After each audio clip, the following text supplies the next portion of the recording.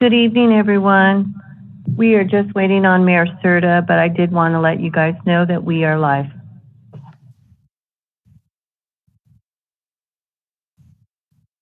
Evening all. Good evening, everyone. Good evening, everyone. Good evening. Hey, y'all. Good evening.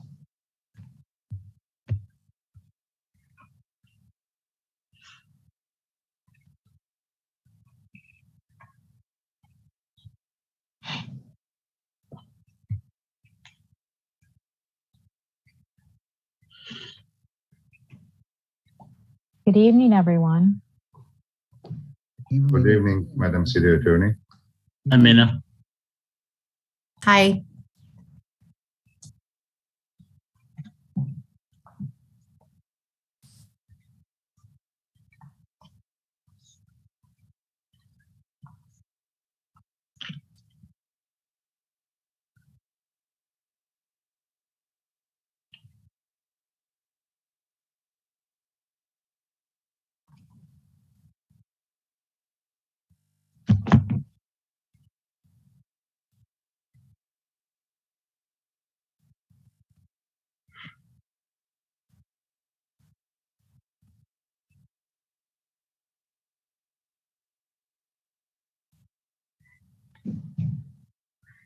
Mark, are you working on that rotator cuff? Yeah, I gotta keep, be reminded to keep doing it so it doesn't get stiff on me. You know. I'm almost back in, in, in golfing shape, uh, doing a few little swings in the backyard today, so All right. I'm getting there. I'm getting there. Either that or Dodger Day first pitch. Oh, no. Not me. I'm not there yet. I tried to throw a tennis ball to my granddaughter, and that was a feat. So I had to roll it to her. Just getting ready for the Rams game. Yeah. I just want to catch a ball, that's all.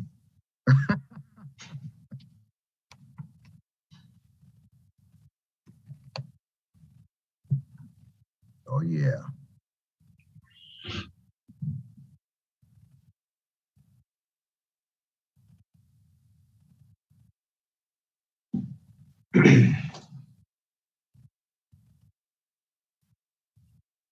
Mayor Cerda will be on in a couple of minutes.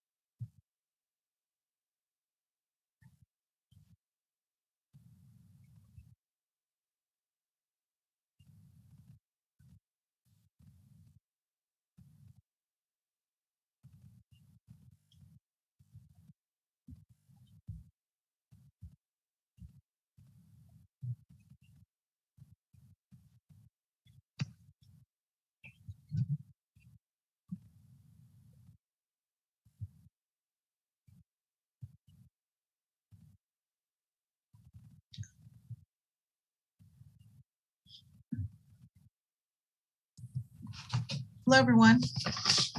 Good evening. Madam Mayor? How are you guys?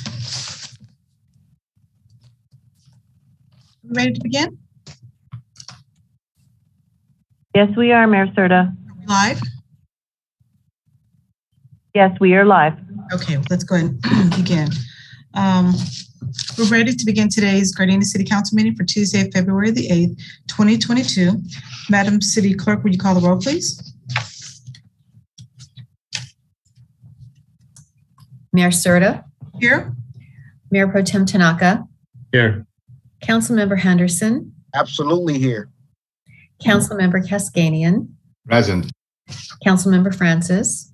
Here. Madam Mayor, all members of the council are present. Okay, thank you. I just want to remind everybody, if you can please mute your cell phones. Um, let me just read this right quick here. In order to minimize the spread of the COVID-19 virus, Governor Newsom has, has signed AB 361. Please, please be advised that the council chambers are closed to the public and that some or all of the Gardena City Council members may be attending this meeting telephonically. If you would like to participate in the meeting, you can participate via the following options. You can view the meeting live on Spectrum Channel 22 or online at youtube.com forward slash City of Gardena. The second way to participate is prior to the meeting, you can email the Deputy City Clerk at public comments at cityofgardena.org by 5 PM on the day of the meeting and write public comments in the subject line. The third way to participate is via the Zoom webinar. Uh, The link is https semicolon forward slash forward slash uh, us 2 wb dot zoom dot us forward slash 854 three nine. Could put my glasses on, three nine six one four nine zero two. The telephone number is area code six six nine nine zero zero nine one two eight, and the meeting ID number is eight five four three nine six one four nine zero two. Press the number nine key to raise your hand and the number six to unmute when prompted to. If you wish to speak live on a specific agenda item during the meeting, you may use the raise your hand feature during the item you wish to speak on. For non-agenda items, you will be allowed to speak during oral communications, and during public hearings, you'll be allowed to speak when I open the public hearing. Members of the public wishing to address the city council will be given three minutes to speak. The city of Gardena thanks you in advance for helping us to take all the precautions to prevent the spreading of the COVID-19 virus. Okay, so um, tonight we did not meet for closed session. So we're going to begin tonight with uh, our Pledge of Allegiance, which will be led by Aiden Sakin and Damian uh, from Denker Elementary School. Immediately following that, we will have our invocation by Mayor Pro Tem uh, Tanaka. So if our two students are ready.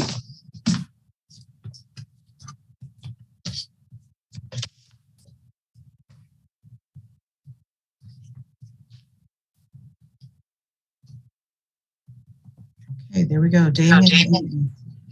You guys can go ahead and begin. Put your right hand over your heart.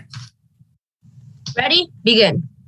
I, I pledge allegiance to the flag of of the United States of America and to the republic for which it stands, one nation, under God, indivisible, with liberty and justice for all. Very good. If both you guys can stay on for just a couple of minutes here, um, Mayor Pro Tem, if you can lead us in tonight's invocation. Thank you, Madam Mayor. Let's pray. Father, we come to you tonight. We just ask you that uh, you continue with your grace and mercy uh, with all the things that are happening in the world, uh, you know, with all with all the issues that are uh, going on right now.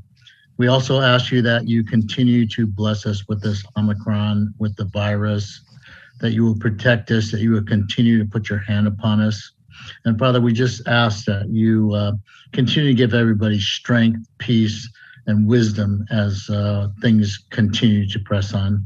We pray for our Olympic team, Father, as they are over in uh, China, um, doing the best that they can for us. But Father, we just thank you for our council that we do the best that we can for our city, all the things that we do for our constituents, and everything that we do for the best interest of our people. And so, Father, with that, we thank you and we just uh, thank you for your son and for his sake we pray. Amen. Amen. Thank you very much. Um, let's go back to our pledges for a second. Uh, tonight, uh, we were led by the Pledge of Allegiance um, by uh, two students, Aiden and Damien. Both attend Denker Avenue Elementary School. Both Aiden and Damien currently um, are students there. Um, Aiden is the school site council president, and Damien is the school site council vice president. So we want to thank both of you guys for uh, leading us in the pledge. You guys did a great job and we're looking forward to you guys. Yeah, everybody's giving you a nice virtual clap here, and we're looking forward to you guys coming back in the future and getting the opportunity to uh, lead us in person there. So, all right, thank you guys again. Good job. Thank you. Thank you. All right. Also, I'd like to uh, thank uh, Mayor Pro Tem for leading us tonight in uh, tonight's invocation. Um, Thank you, Madam Mayor. very much appreciate that. Okay, so with that being said, uh, next up, we have a presentation tonight. And um, I'm going to take something, um, here it is, never mind. My computer loaded up quick enough for me. There we go. Okay, so tonight we're doing a presentation, um, a special recognition to uh, Junipero Serra High School, uh, the football team for the 2021 CIF Division Three Championship and the 2021 CIF State Division One Championship. Uh, tonight, this is going to be um, accepted by the uh, the team members, um, the head coach, uh, which is Scott um, Allen Alan Tinbergo. I hope I pronounced that right. And the athletic director, Richard. Richard, I, I apologize, uh, Richard Jenkins. Uh, so let me just read this uh, special certificate of recognition, then I'll give you guys the opportunity to uh, say something. So um, the certificate of special recognition. So we, the mayor and the council members of the city of Gardena, California, do hereby uh, declare as the following.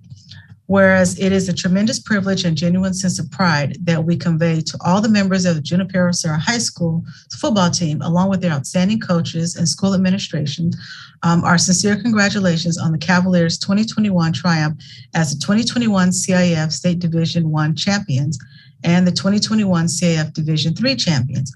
And whereas it is with um, a thrilling, well played, and triumphant 2021 football season and even with COVID-19 pandemic and injuries, Gardena is proud of all the exceptional um, things you've done, the records you have earned, and the fine positive publicity that you have brought Serra High School. And I'd like to mention and Gardena.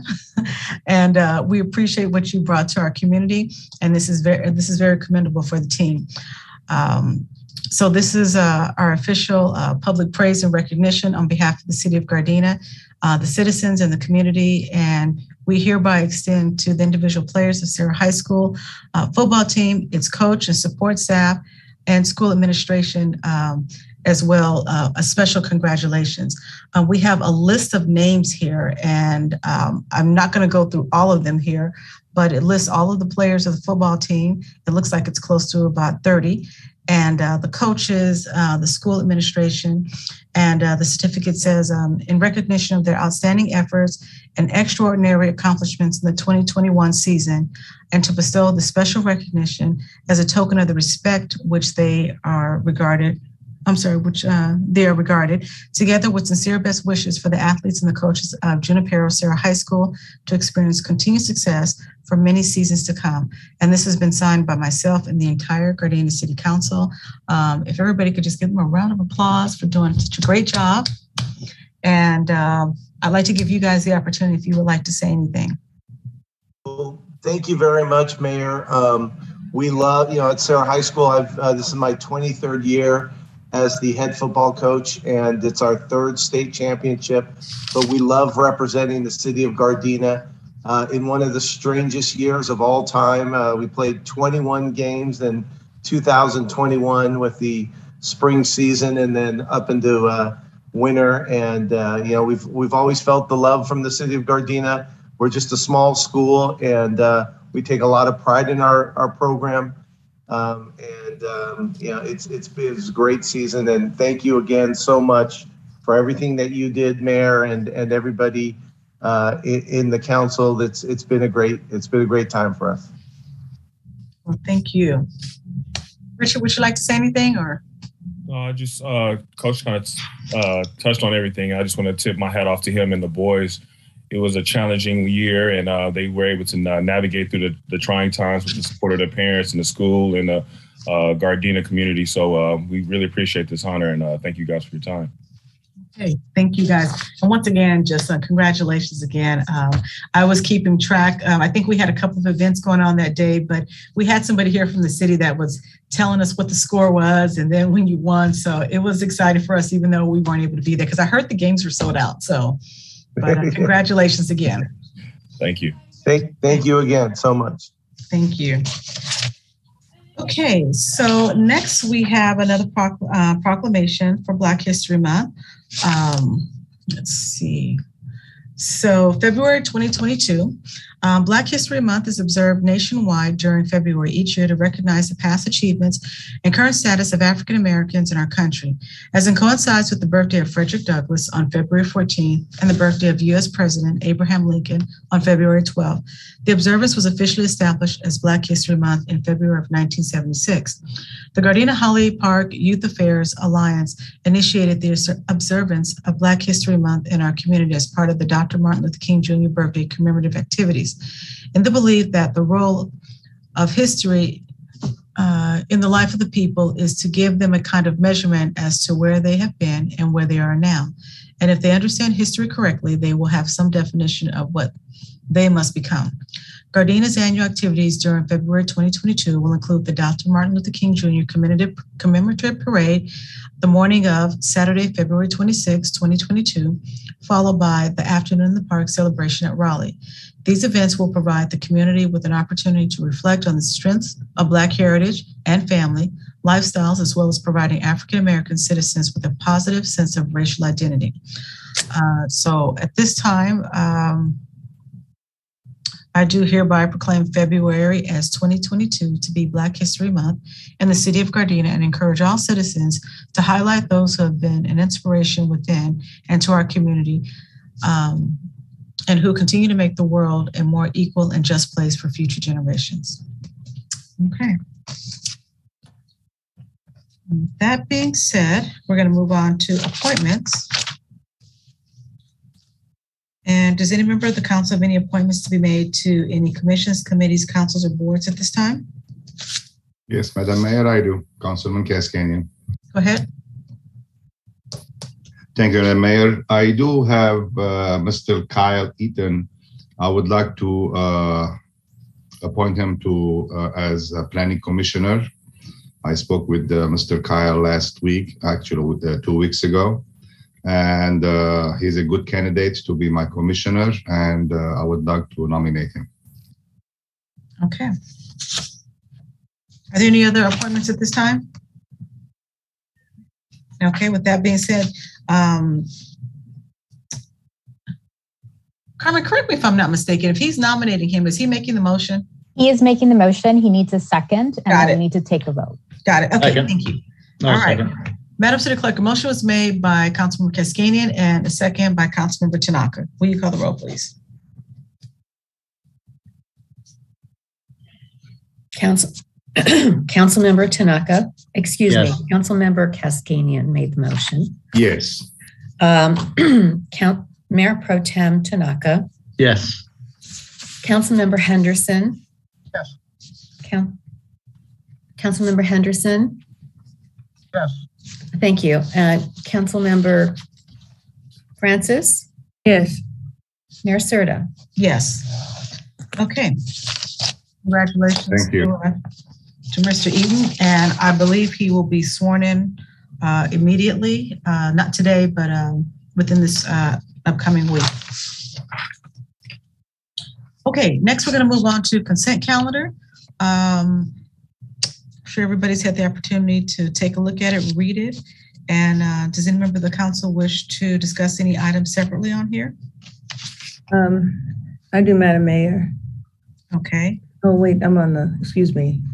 I'm on the wrong item because I was looking at, uh, 10 okay, I'm on the wrong item. No, I don't. I take that back. okay. Okay. Um, d- um, Okay, so no one has any questions on this. Madam City Clerk, do we have anybody from the public who wishes to um, speak on any items here? No, Madam Mayor, we do not. Okay, that being said, can I take a motion to accept the consent calendar as is? So moved. Is there a second? Second. Okay, Madam City Clerk, there was a motion made by Councilmember Henderson and a second by Councilmember Kaskanian. Will you call the roll, please?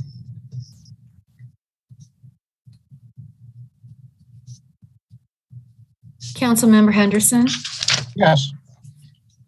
Councilmember Kaskanian, Yes. Mayor Pro Tem Tanaka, Yes. Councilmember Francis, Yes. Mayor Cerda. Yes. Okay, next up is Planning and Environmental uh, Quality Commission Action Sheet.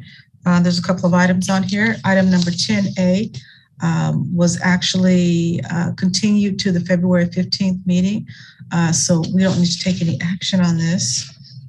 Um, Next is item number 10B, which is the uh, uh, the planning commission considered a request for a site plan approval to uh, construction of a new um, over 3,000 foot square foot multi-tenant commercial building with a drive-through uh, in the uh, C2 and a mixed-use overlay area, uh, which qualifies uh, for categorically exempt uh, exemption from the provisions of the CEQA Act.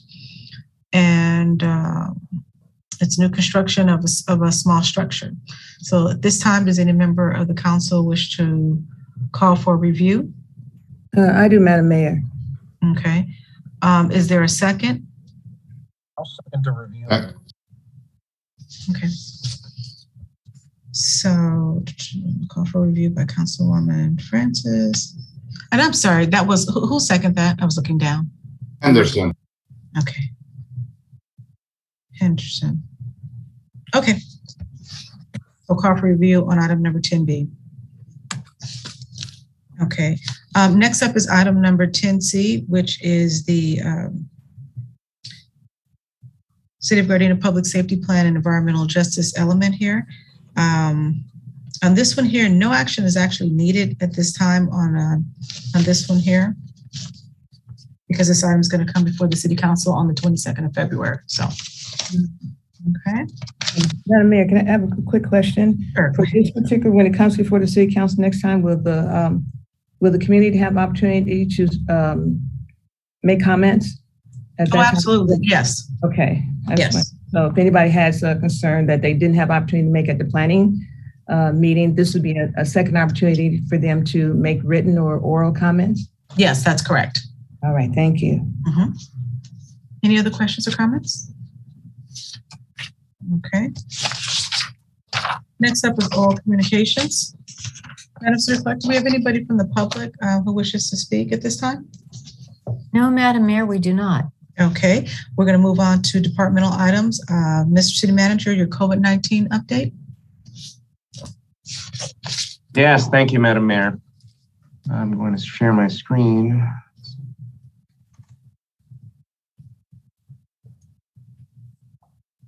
Okay, uh, Mayor Cerda, members of City, City Council for tonight's COVID-19 update.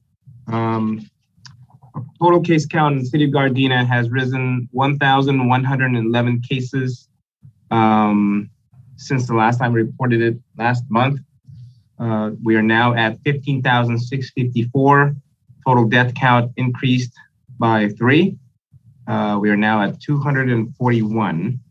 Uh, as far as vaccination is concerned, the children um, sector 5 through 11 is at 28.4%. Ages 12 and above is 87%. The youth uh, segment, which is 12 to 17, is at 79.2%. And our seniors, 65 and over, is at 94.9%. Uh, COVID 19 testing is still underway at Rowley Park. And since August 23rd, 2021, uh, we have a total of 4,989 residents tested. Uh, and that's 555 tests since the last council meeting that we had. Uh, this is averaging us about 36 residents per day. And Madam Mayor, so ends my COVID 19 update. Okay. Does any member of the council have any questions at this time or comments? I have one. So, Mr. City Manager, at the last meeting, you mentioned that, um, can we go back? Can you share your screen again? Oh, sure.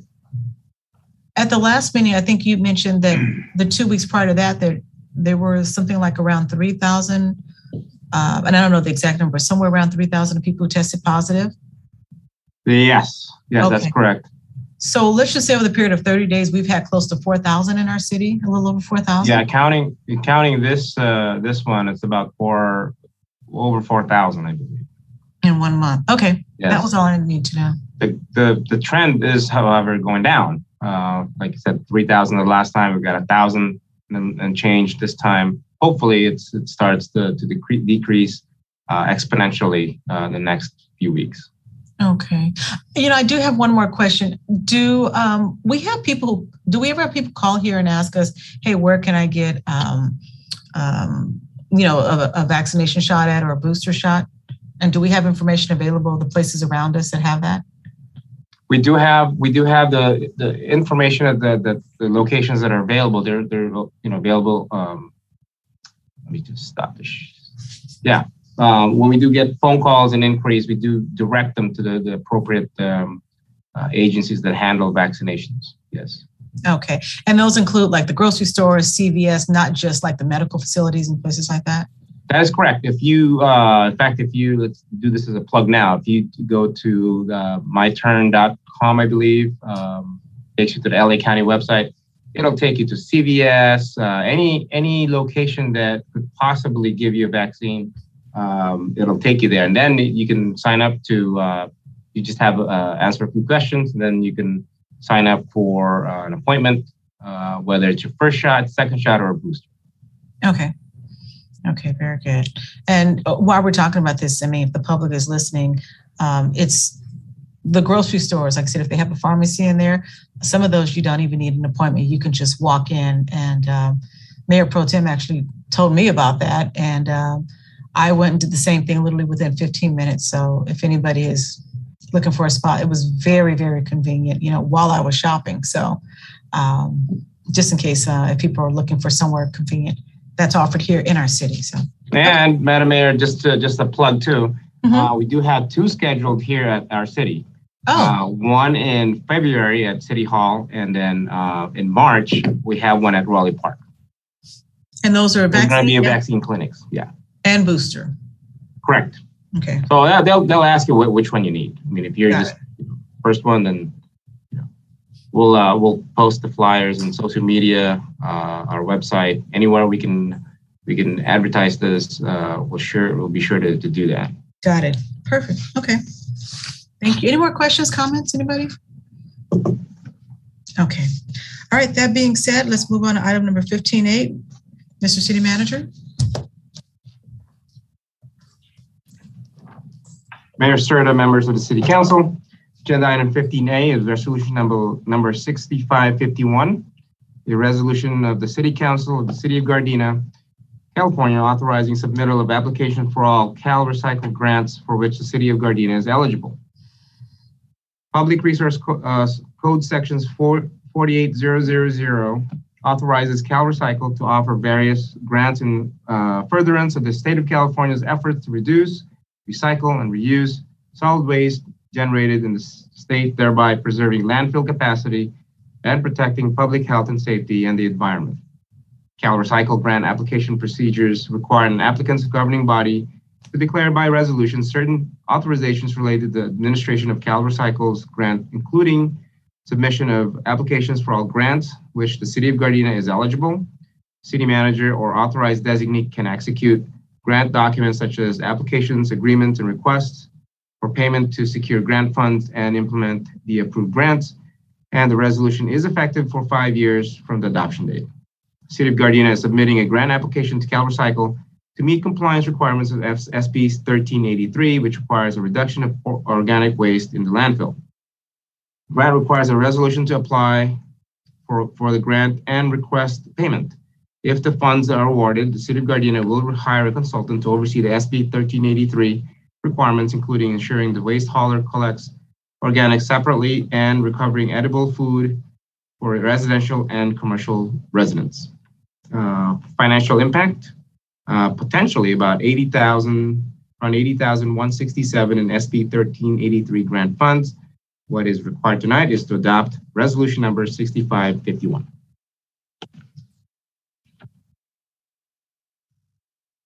Okay. Does any member of the council have any questions or comments at this time? Let's start with, uh, let's start with Councilmember Henderson and then Councilmember Kaskanian. Madam Mayor. Mr. City Manager, in regards to uh, the Cal Recycle, how many hours will we anticipate the consultant if we were to get awarded this and then hire the, how many hours a week will we need the consultant to do the work? Um, we don't actually know uh, exactly the number of hours we're going to need them for. Um, they would know that best depending on the grant that we get, uh, especially for 1383. that's going to be included in the scope uh, uh, in the proposal that they would have, and that's where we're going to start our potentially negotiation as far as the uh, meat and potatoes, if you will, of the contract. So at this time, we we, we we won't know until we we generally get the grant.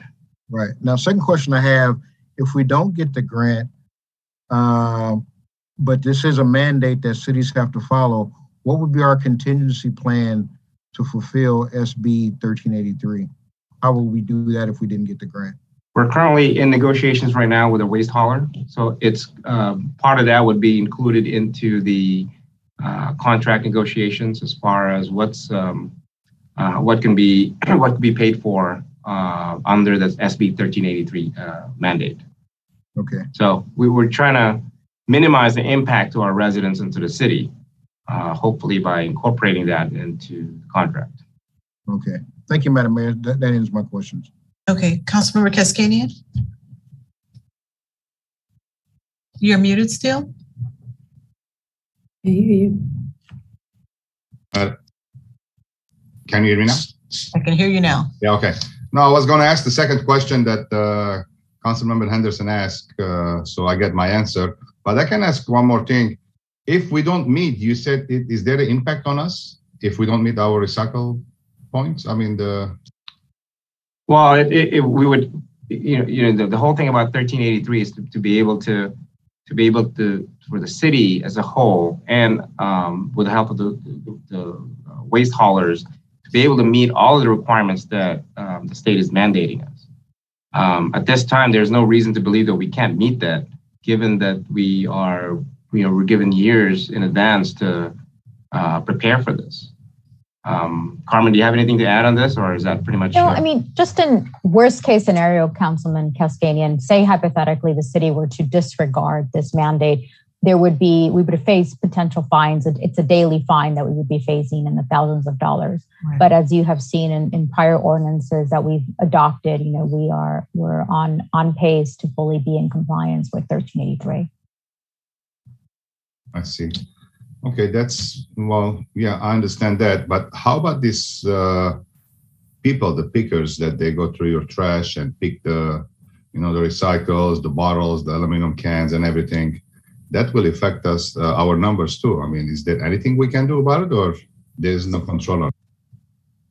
So the, the 1383 is dealing with organic waste, which is your food scrap, not specifically um, your bottles of water or your aluminum cans, which is, is diff- in different categories of recyclables. Okay, thank you very much. Yeah, I don't think people are going to pick through the organic one, maybe mice, but not No. I don't think so. But, you know, there is a lot of people do dig, man. I know, and, I you know. I'm And funny. I spoke with, uh, you know, several, uh, you know, companies that they pick up recycle.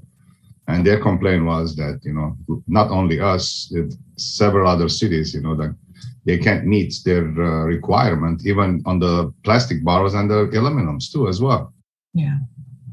Yeah. I, I, oh, I'm sorry. Go ahead. No, I was just going to say thank you. Okay. So here's a question I have. If we apply for this grant, what's the time frame for that? Like, is it three or four months out?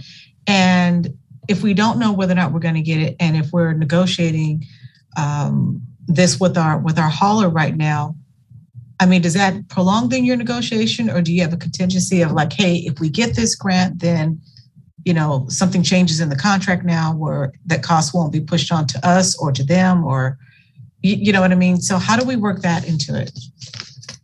The, the contract itself uh, calls for uh, certain provisions in, in what we charge them, right? So if, um, what we're trying to do is, is uh, recoup a lot of the cost that's uh, included in this 1383. Now, 1383, you know, has a lot of uh, different um, uh, items on there that, that, you know, the itemized, status itemized, and we're trying to um, incorporate that all in the, in the contract.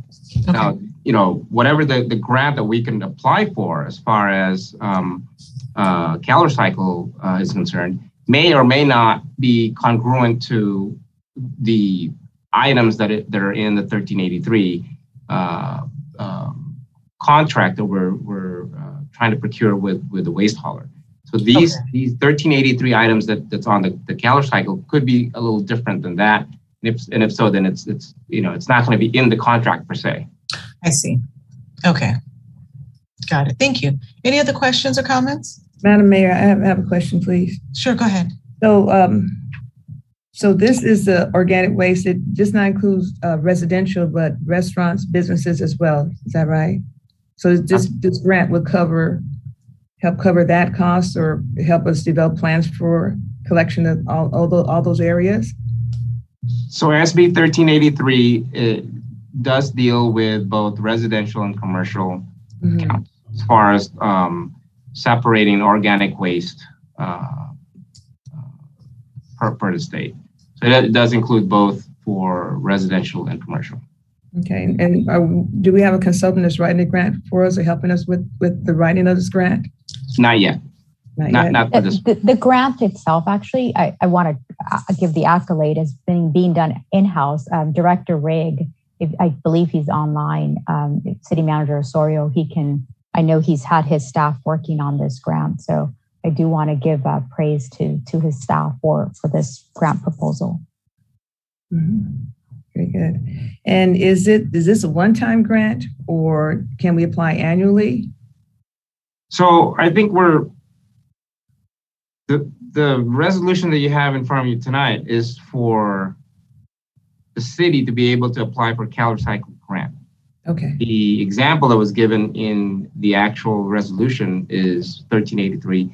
But this, you know, we have five years to, you know, apply for whatever grant that we want. Um, so this resolution is good for five years. all right. Thank you. And, but the uh, actual mandate goes to, because I remember when the consultant first told us about it, I was a big concern that um, the state had given us a mandate that, an unfunded mandate, and I didn't think that was quite fair. So- Yeah, they, they, they basically tried, they told us to, to find a way to get it done. And either, you know, I mean, there's just, you know, so many different ways that you can pay for that, right? Mhm. Either, you know, the city, uh, you know, pays the, the mandate, uh, which it's not sustainable, right? Or, you know, what most cities, in fact, all cities are doing is technically rewriting the contracts with waste haulers and, you know, you, you, you've got to pass the, the costs to the residents and to the commercial accounts. Um, we're currently in negotiations right now with our waste hauler, so I can't really talk about the specifics of what that is, but we're trying to make it as favorable as possible uh, for our residents. And that's the goal. At least we're getting a little help. Thank you. We're trying to aim actually is no change for our residents. That is the goal. That's a good goal. Yeah, very much so. Any other questions? Madam City Clerk, do we have anybody from the public wishing to speak on this item here? And no, we do not, Madam Mayor. Okay.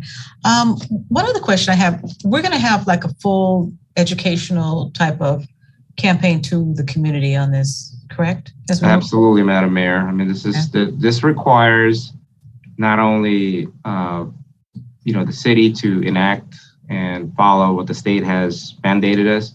Okay, Uh, Not only does the waste hauler have to do their part as far as technology and their, the way they do it, but also the residents would have to get involved as well.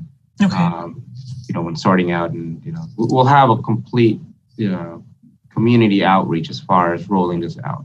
Got it. Okay, sounds good. I know one of the neighboring cities right outside of Gardena, um, where they were requiring, uh, their residents, um, you know, to separate the organic. I'm sure they did some type of outreach, but they just dumped in everybody's yard these little funny green and white buckets.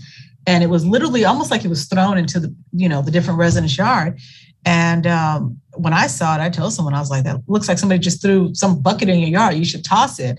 And it took them a, a, day or two to realize that that was what they were supposed to put their organic waste in. So um, I know we always do a really good job of educating the community, but when I saw what this other waste hauler did, I was like, that is really tacky. So, Well, Madam Mayor, I think, I think this mandate is really, um, it's really confusing, Yeah. uh, to say the least. I mean, if we did, you know, some kind of a one-time, you know, informational, you know, whether mail or whatever, um, to our residents and just tell them, hey, this is what you're supposed to be doing. I think we would be doing a disservice to the, to the community. Right. And what, what we're planning to do is really sit down along with our, our partners, which is our waste hauler, uh, to sit down and explain exactly what is what does this and what this does and how to do it. Right. Um, with you know, in-person community, you know, actually, you know, showing them exactly how to do it instead of just you know writing you know sending an email blast or whatever. That that's not that's never going to work if, if that's what we did. Okay.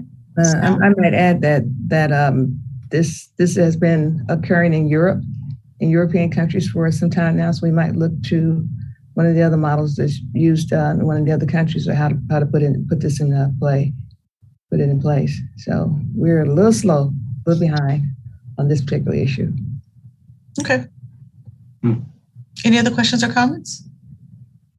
No? Okay. All right, that being said, um, can I get a motion to adopt resolution number six five five one? So move. Is there a second? Second. Okay, Madam City Clerk, there was a motion made by Councilwoman Francis and a second by, uh, Councilmember Kaskanian. Will you call the roll, please? Councilmember Francis. Yes. Councilmember Kaskanian. Yes. Mayor Pro Tem Tanaka. Yes. Uh, Councilmember Henderson. Mayor Cerda. Yes. Okay, next up is item number fifteen B. Mr. City Manager? Mayor Cerda, members of the City Council, agenda item fifteen B is to award professional services contract for the sewer master plan project, job number nine nine zero to Carollo Engineering Incorporated in the amount of five hundred ninety-eight thousand. City of Gardena provides wastewater collection services to the entire city within its six point two square mile boundary. City's existing wa- wastewater collection system is made up of a network of gravity sewers. City has over 88 miles of varying pipes sizes with uh, approximately 2,080 manholes and own and maintain one lift station. Overall goals for developing and implementing a sewer master plan is to evaluate the existing condition of the sewer system, ensure adequate capacity exists to effectively collect and transport sewage generated by the city, and to identify and plan for capital improvement programs. The plan also helps ensure the city remains compliant with new and constantly updated state regulations related to sewer system management. And project scope consists of data collection, sewer CCTV survey, manhole inspection, flow monitoring, lift station assessment to develop technical report, identify capacity constraints, uh, land use population updates, and capital improvement programs. Additionally, the end result of the project is to develop a sewer GIS inventory, uh, sewer system management plan update or SSMP for state requirements, and a sewer d- design manual to provide guidelines for the analysis and design of sewer facilities. In June 2021, Public Works Department uh, released an RFP for sewer master plan 2021 services and distributed to engineering firms throughout California utilizing the information IMS platform. Staff contacted 13 regional consultants that uh, provide sewer master plan services, on- and on September 20th, 2021, four proposals were received. Two sealed envelopes were received from each of the firms, uh, one with the firm's proposal and qualifications, and the other with the firm's fees. Director of Public Works, Principal Engineer, and Associate Engineer evaluated the written proposal using the weighted criteria regarding the experience of the, uh, the team, qualifications, project understanding, schedule, cost, relevant project experiences, response or scope of services, and level of comfort and familiarity with the city's existing system. Subsequently, the top two firms, Canon Corporation and Carollo Engineering Incorporated, were invited to participate in an interview on October 26, 2021. Both firms presented their experience, project approach, team resume, and participated in a question and answer section session uh, within the city.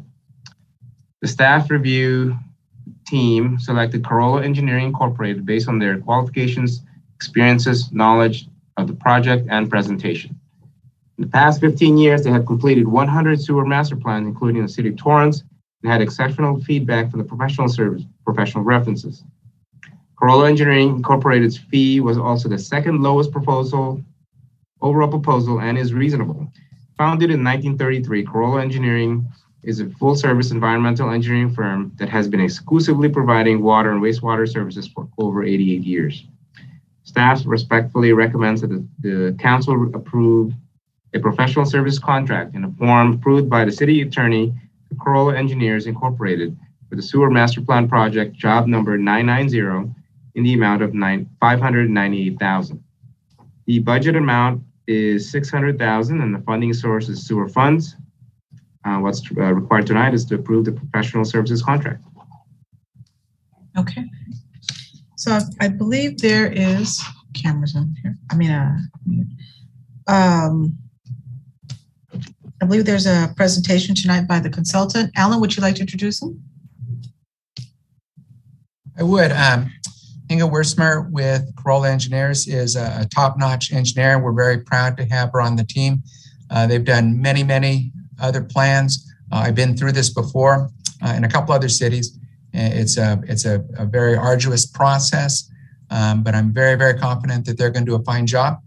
And I would uh, hand off to Ms. Wiersma uh, to give the presentation tonight. Thank you.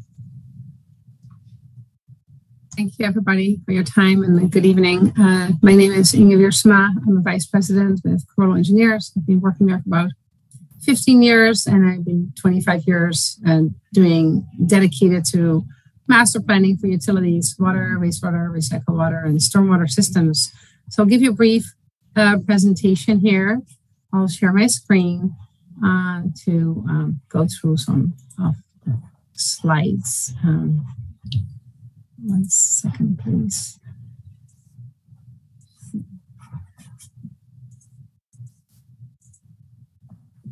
Okay. So um, I will talk briefly about the project goals and, and background and the purpose of this project. And the introduction already quite a few things were mentioned. Then I'll highlight some of the key elements of the sewer master plan project, and then uh, talk a little bit about the experience of Carollo engineers and the timeline of this project. And at the end, I'm happy to answer any questions. So the master plan project goals are really, as a starting point, evaluating the existing conditions of the city's sewer collection system and uh, assess whether there's any, um, if, if it has enough capacity to collect and transport all the wastewater and to make sure that the city uh, remains compliant with all the state regulations. Through the process of this master plan, we will identify, plan, and prioritize capital improvement projects for the next 20 years, and we will phase them into near, mid, and long term periods. In addition, this project involves the development of a sewer system management plan, which is a separate deliverable uh, required by the state, um, preparation of a sewer design manual, specifically helpful to um, work with developers uh, when growth comes and because the city is working on the housing element of the new general plan and the new RD um, hmm, and RHNA uh, allocations that are pretty substantial growth and developers are uh, going to be important to work with and make sure that those designs are consistent. So that's a unique element included in this project. And it also includes uh, a complete asset inventory and um, the development of a sewer system GIS, a geographical information system and hydraulic model. So it's quite a lot of accomplishments at the end of the project. Um, but the real purpose is shown on the right, develop a long-term sewer system capital improvement plan that will guide the city with the investments over the next 20 years. Make sure that investments are made at the right time and at the right place, and that projects have the right size, not too big, not too small, not too early, not too late, kind of that kind of stuff.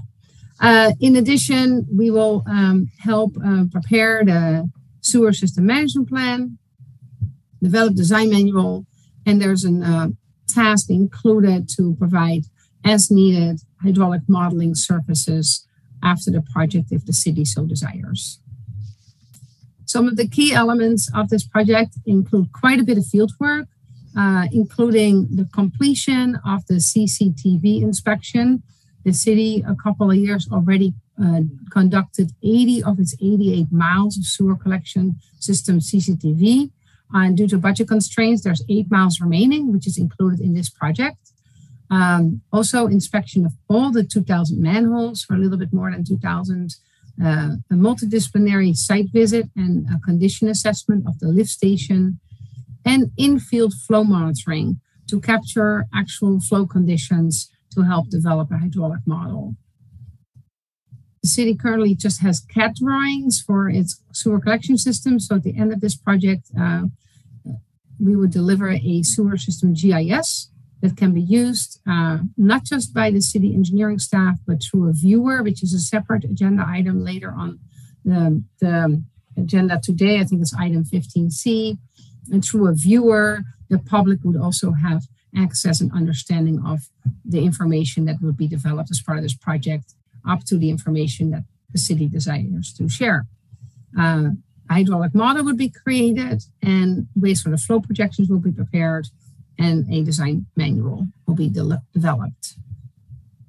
When it comes to the existing system condition assessment, uh, as I said, uh, it would include eight miles of CCTV inspection to complete the full uh, database uh, assessment using cameras that roll on a device inside the sewer collection mains, recording if there's any areas with cracks or root intrusion or other structural damage that needs to be addressed now or in the future.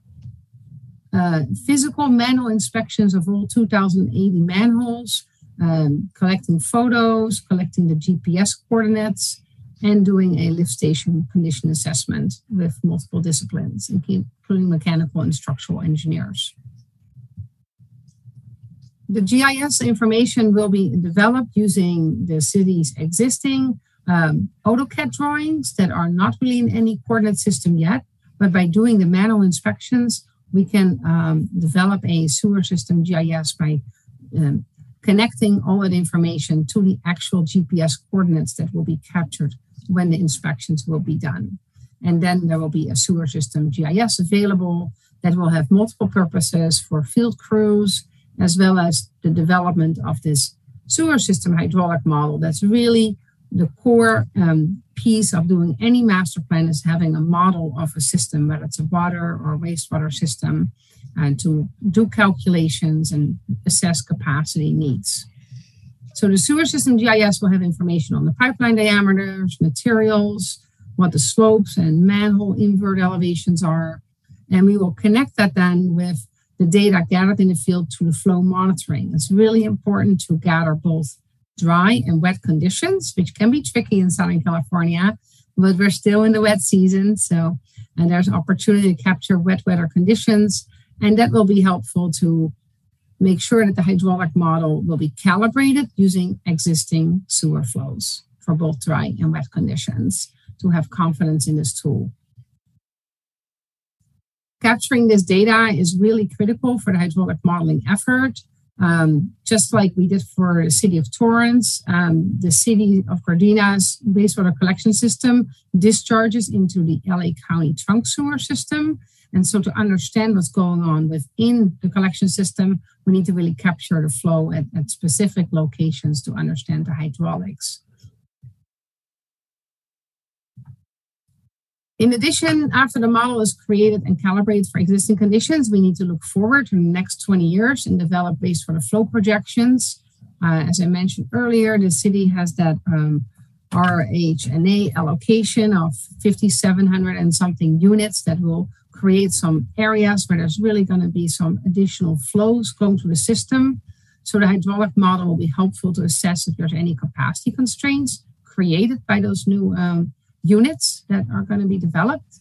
And we'll look at again under dry and wet conditions to develop ultimately a CIP for the capacity projects, but also looking at rehabilitation and replacement projects, R&R projects due to aging infrastructure, as well as O&M operations and maintenance recommendations. There may be some areas where we will make recommendations about different maintenance protocols or operating the system more efficiently or using new technology and telemetry, similar to you've been using those smart covers. And it's been really helpful for city's operations to avoid any sewer system overflows where possible. The deliverables of this project are um, quite a few. Um, the goal, of course, developing a capital improvement plan. So that will be uh, provided and it'll be a dynamic planning tool. Um, the hydraulic model is a really important deliverable that the city can use for many years. Uh, the sewer design manual will be will be helpful for both city staff, but also to hand out to developers to um, get their designs done in a consistent manner. And then state compliance with the sewer system management plan that needs to be updated. And of course, the final report, the master plan. The sewer system management plan is its own deliverable and it really um, helps achieve regulatory compliance. In 2021, the regulations have been changed again. Carollo has been fortunate to work for a variety of cities and have prepared more than 20 of these SSMPs in recent years. So, and we are in close contact with the state board to really understand the requirements to ensure that the city will be in compliance with these uh, new requirements. The prioritized CIP will provide confidence that the city can make the right investments at the right time. We will phase uh, the projects by category and by time period, and if needed, uh, can assess if there's any rate adjustments required to generate enough revenue to pay for those projects that are recommended. Uh, but the system is in fairly good shape, so hopefully uh, there's no significant rate adjustments needed for the CIP, but we would know that um, at the end of the project. Real briefly on Carollo's experience, as already mentioned in the introduction, uh, Carollo was founded in 1933. We have about 1,100 or a little over 1,100 employees, and we have offices throughout the US, but the majority of our offices are on the West Coast and we're headquartered in California. And we are one of the few consulting firms that is solely dedicated to the water sector. And the planning group that I'm part of and that, I've been helping build the last 15 years has a staff of 50 to that is dedicated to planning and hydraulic modeling. And we have worked on more than 100 sewer master plans in the last 15 years in just the state of California. And we'll leverage that experience with efficient tools to help develop the sewer master plan for the city of Gardena. When it comes to the project timeline, uh, assuming uh, the project can uh, start around the beginning of March, we anticipate that we can complete the master plan report in draft format in uh, mid-October with a final plan early November, just before the holidays. And the SSMP will be on the same time schedule. And the design manual can be accelerated a little bit. A couple of key benefits of this sewer master plan project is that it will provide the city a roadmap to guide with your um, investments, make sure that the city has adequate hydraulic system capacity for years to come, avoiding any public nuisance or public health issues with sewer system overflows, especially during wet weather conditions. Make sure that the city can be proactively addressing any aging infrastructure needs and achieve regulatory compliance. And with that, I want to open it up to any questions. Okay, thank you. Very informative presentation. Does any member of the council have any questions at this time? Mm, I have a couple. Okay, go ahead. You mentioned the uh, smart manhole. Can you tell me a little bit about that? Yeah, I learned that today yeah, that the city is using those. And uh, so what it does, um, it has basically a level sensor under the manhole cover and it mm-hmm. has a setting what is the maximum depth of the water that would be desired let's say that be 10 feet below ground. And if that is less if the water levels start rising into the manhole you basically have a surcharging condition. And then it will send a message to the operations staff say hey we may have a blockage. Let's go out there quickly and, and fix it. So i believe there's about 20 or 25 of those in the city. And it's just a great example of using technology to be able to react quickly to any um, issues in the system. So there's many other technologies out there that are evolving quickly. And so uh, we like to kind of um, advise cities on potentially using those types of tools. Yeah, thank you. Um, I, this uh, kind of uh, relaxes one of my concerns about because we have all this new development going on and uh, the infrastructure. When I talk about infrastructure, this is one of the main infrastructure issues that I, I had great concern about. And I like the idea that um, we're getting a manual so that when you're not here, we have something that we can we can look into and say, well, this, this is how, how it's supposed to work. I just had um, one uh, one concern. Uh, it's in the consultant agreement, and I think it's item number 22 about employment. You mentioned um, aliens use the term alien. What, what's the, um, I'm not sure what, what an alien is. Is are you talking about hiring people from Mars or what are you talking about? People or? Yeah. What, what- Councilwoman Francis, I'll, I'll take that since it's a city's uh, prior template. It's for purpose, it's language that's used, unfortunately, I, although I share your opinion about the term alien, purposes of language that's used by, you know, at the federal level and IRS purposes. Uh, but that it's not the, it's not a Carollo's uh, agreement. It's uh, literally language that's taken from there in compliance with federal law. Yeah, I heard that uh, President Biden is um, is looking forward to using a more humanizing term. Can we, even though it's federal law, can we? I guess we can't change it, or it has to stay that way, or can we put like little parentheses, something meaning? Because I, I um, I will look into that, uh, Councilwoman Francis, and if I can change that, then I will look into that, if that's okay with the rest of the council. I mean everything else is fine, but when I saw, it, I thought, ooh, alien. I'm maybe I'm just a little bit sensitive, but um, so thank I. I, I think, I think I've gotten several nods of yes, so I will, I will look into that, and if it's legally acceptable, then we will go ahead and modify that. Very good, thank you. Any more questions? Um, Councilmember Kaskanian? Thank you, Madam Mayor. Uh, Very nice presentation. Thank you very much. Uh, My question is, it comes to dollars.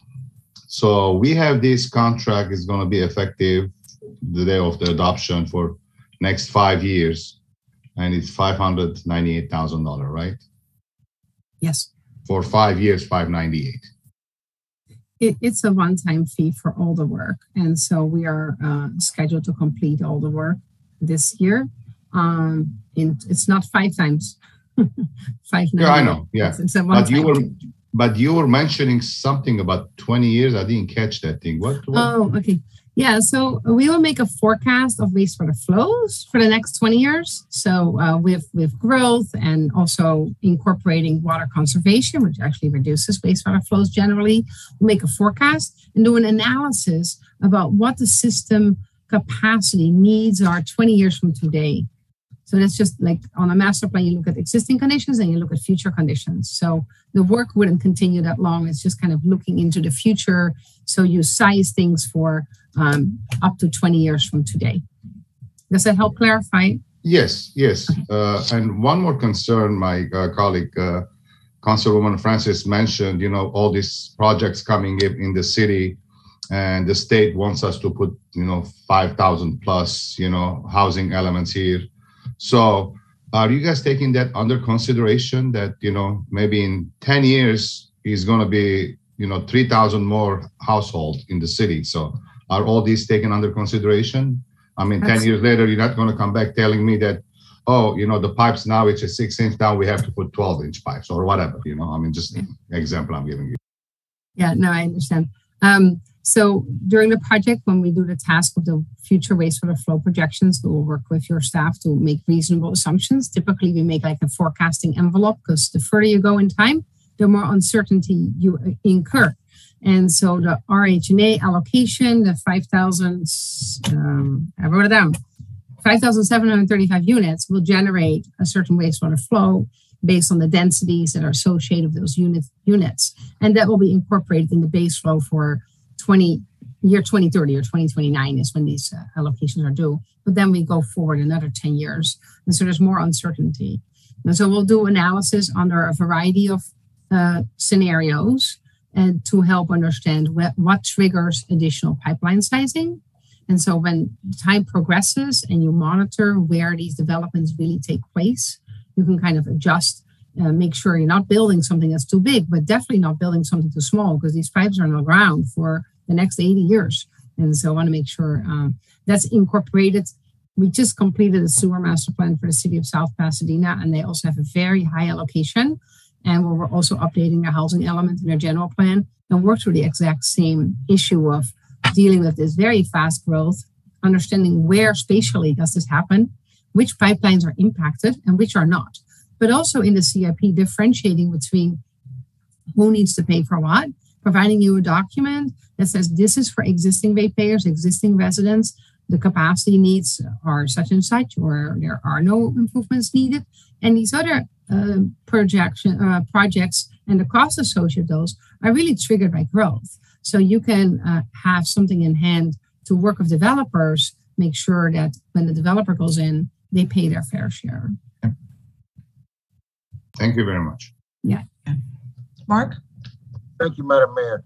Thank you for the presentation. I had a couple of questions in regards to, well, we've already done 80 miles of our sewage pipe and there's another eight remaining and we, we could only afford so many smart manholes and everything. Would this study give us recommendations to then cover the rest of the manholes or maybe strategically get smart manholes around the city, to give us some accurate measurements or will that not be included in the study, these recommendations?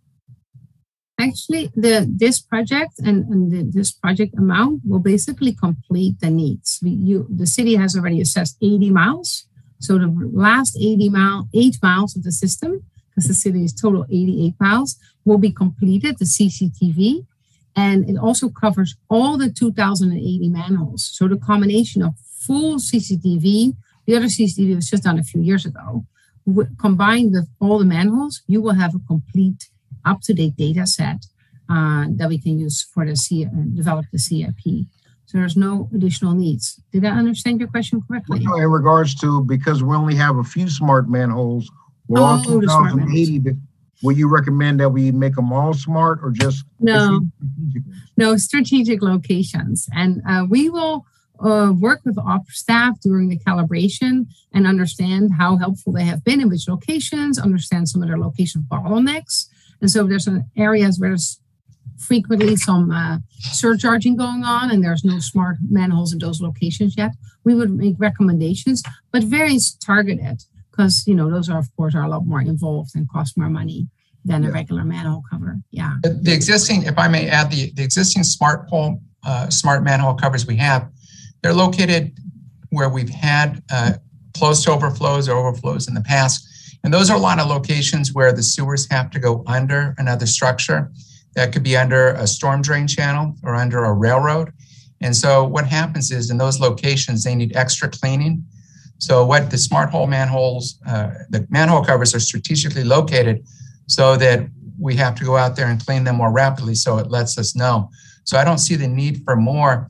If possibly, if we have some additional capacity uh, projects, we would actually need less of them. So we're, we're, we're confident we have enough at this point, and, and we may be able to eliminate some of them. Okay, thank you.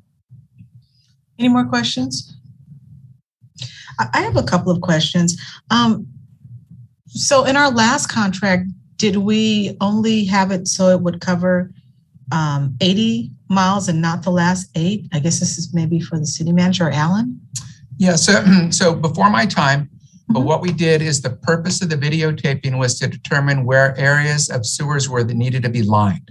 Okay. So one thing that we try to do with sewer pipes, uh, similar to, to roadways, if you get ahead of the curve and you you you you main, you maintain them, you don't have complete failures and huge amounts of expense. So the city went through a process. We videotaped uh, almost all the sewers in the city. My understanding is there was a budget constraint and was also that there were sewers that were newer and had already been lined, so there was no need to videotape them for a condition assessment. So there were some other purposes for not doing it, but uh, yeah, at this point we'll we'll do the rest of them and and understand what condition they're in. Okay, I see. And then the other question I have is in a city like ours, 88 miles, and when these were originally put in, how often should we videotape or you know go through and check our sewers to see as far as when they need to be replaced? So that's that's that's a, a, a combination of maintenance and capital projects. What we do in our city, we have a, we have a I love our sewer maintenance program. You allowed us to buy the new sewer maintenance truck, and the fact is we have a program where we maintain and clean every city in the sewer at least once a year, and our hot spots, those areas under railroads and the like, we do every three months. So by doing that, we've kept our sewers in really good shape. We have not had a sewage overflow in the public right of way in three years, which is incredible. Um, the value of the sewer master plan is, is to keep that up. When I started with the City of Palos Verdes Estates years ago, we were having 40 overflows a year. And after the implementation of the, uh, the plan, we were down to four a year. So sewers should last 60 to 70 years. They're vitrified clay pipe. If they flow well, they last longer. If they have minimal root intrusion, they even last longer. Um, the results of the past videotaping is that we've got good good uh, soil in the city, so they're not cracking. We have good maintenance, so we're not getting grease buildup or otherwise, and we don't have a lot of root intrusion. So we're very fortunate that way. So we, we we've got good sewers, and part of this program is to do a lining program and the like to make sure we maintain them. Uh, a very rough um, napkin type estimate is our sewers to replace them today would be somewhere between 100 and 150 million dollars.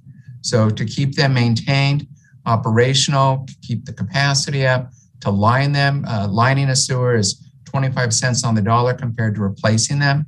Mm-hmm. So if we can get ahead of it, uh, the the uh, deterioration of the sewers with this type of program, it, it'll it'll save us a tremendous amount of money in the end. The timing is interesting as well. I, sometimes we're just lucky, and as uh, Inge explained, we just have the new SSMP regulations. We just have the new RHNA number so we can forecast in the future. And, and it's good that we're doing this now. We, we don't want to be in the news like some of our neighboring cities have with massive sewer uh, spills. So we're, we're going to maintain our sewers and we're going to keep our, our sewers flowing safely. We're not going to have backups in homes and businesses, and we're going to stay out of the news. That's a good thing. Um, so, two quick questions here. So, let's just say from the time that sewers were initially installed in Gardena, how old would you say some, some of our oldest sewers might be, if you if you had to, from the time the city was incorporated, maybe, or? I would say, I've, I mean, I've seen buildings. Some of the historic buildings are in the tens and twenties, 1910, 1920. So, and, and probably they may not have had sewers at that time most of the sewers in LA County were through assessment districts mm-hmm. in the 50s, so it's reasonable to expect most of our sewers are probably 70 years old, or a lot of them are. Okay. So they're, they're getting older. Um, they, they need some attention. Okay. And then the last question I have, as it relates to um, this plan will help for the right the right type of investment. So, for instance, let's just say a particular project is coming in, and they maybe let's just say it's an apartment building, and they want to put I don't know 300 apartments in there or something like that. Based on this plan right here, we can say, well, hold on a second, our sewers can't handle this because it's too dense versus, you know, if you guys went down to 100, I mean, that's, I don't want to say it's leverage, but, you know, to say it's not going to equally match to that, would that be correct understanding? So, so a couple things, sorry, I, I get excited about this. So um, what, what I've done in other cities and what we would do with Carollo mm-hmm. is we have the, the developer go work with Carollo and they will model their specific development and see if it's causing any overcapacity issues. Okay. And then we need they need to address it from there. One one this is the easy bridge to cross right now, which is to develop the sewer master plan and develop the needs. Okay. The harder decision we'll eventually need to make is how do we get that money to be paid for so we can do those improvements we could potentially do an across the board citywide sewer assessment, which I've done in other cities, or you can do it a project by project assessment. And so we that's a, that's a decision for another day. But first, we just need to know what what those needs are, and we need to make sure with that new development we can make sure they're not overtaxing the system, and and that they're paying their fair share. Got it. Okay, thank you. That's all I have. Are there any other questions? Oh, Mark, go ahead. Questions for Mr. City Manager. So speaking of taxing, in, in what what supports the sewer fund? Is that from our property tax? We get a portion from a portion through LA County. Where do, where does that fund get built from, Mr. City Manager? I believe that that's come from comes from your uh, your water bill. Or, or just our water bill? Okay. Yeah. All right. That's very common. Typically, it's prorated on the water bill because the more water people use indoors, the more wastewater gets generated.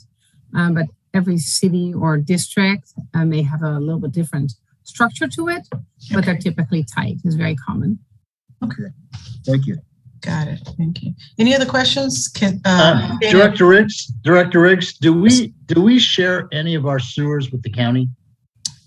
We don't share them. What we do is we have so the network of sewers is uh, no, we don't. We have our local network of sewers, and they discharge into the county sanitation district sewer, sewer system that then goes down to the Carson treatment plant.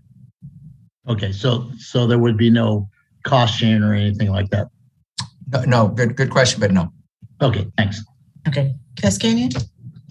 Thank you, Madam Mayor. Very quick, uh, maybe uh, Alan can answer this question. So Madam Mayor asked the question that if there is a 300 unit is going to build and, you know, they, they say it might work, it might not. So they have to go consult uh, Carollo, uh, the whoever's, you know, and uh, if they said yes, you know, you can, you know, hook up to your your 100 unit apartment, and it will be no issue.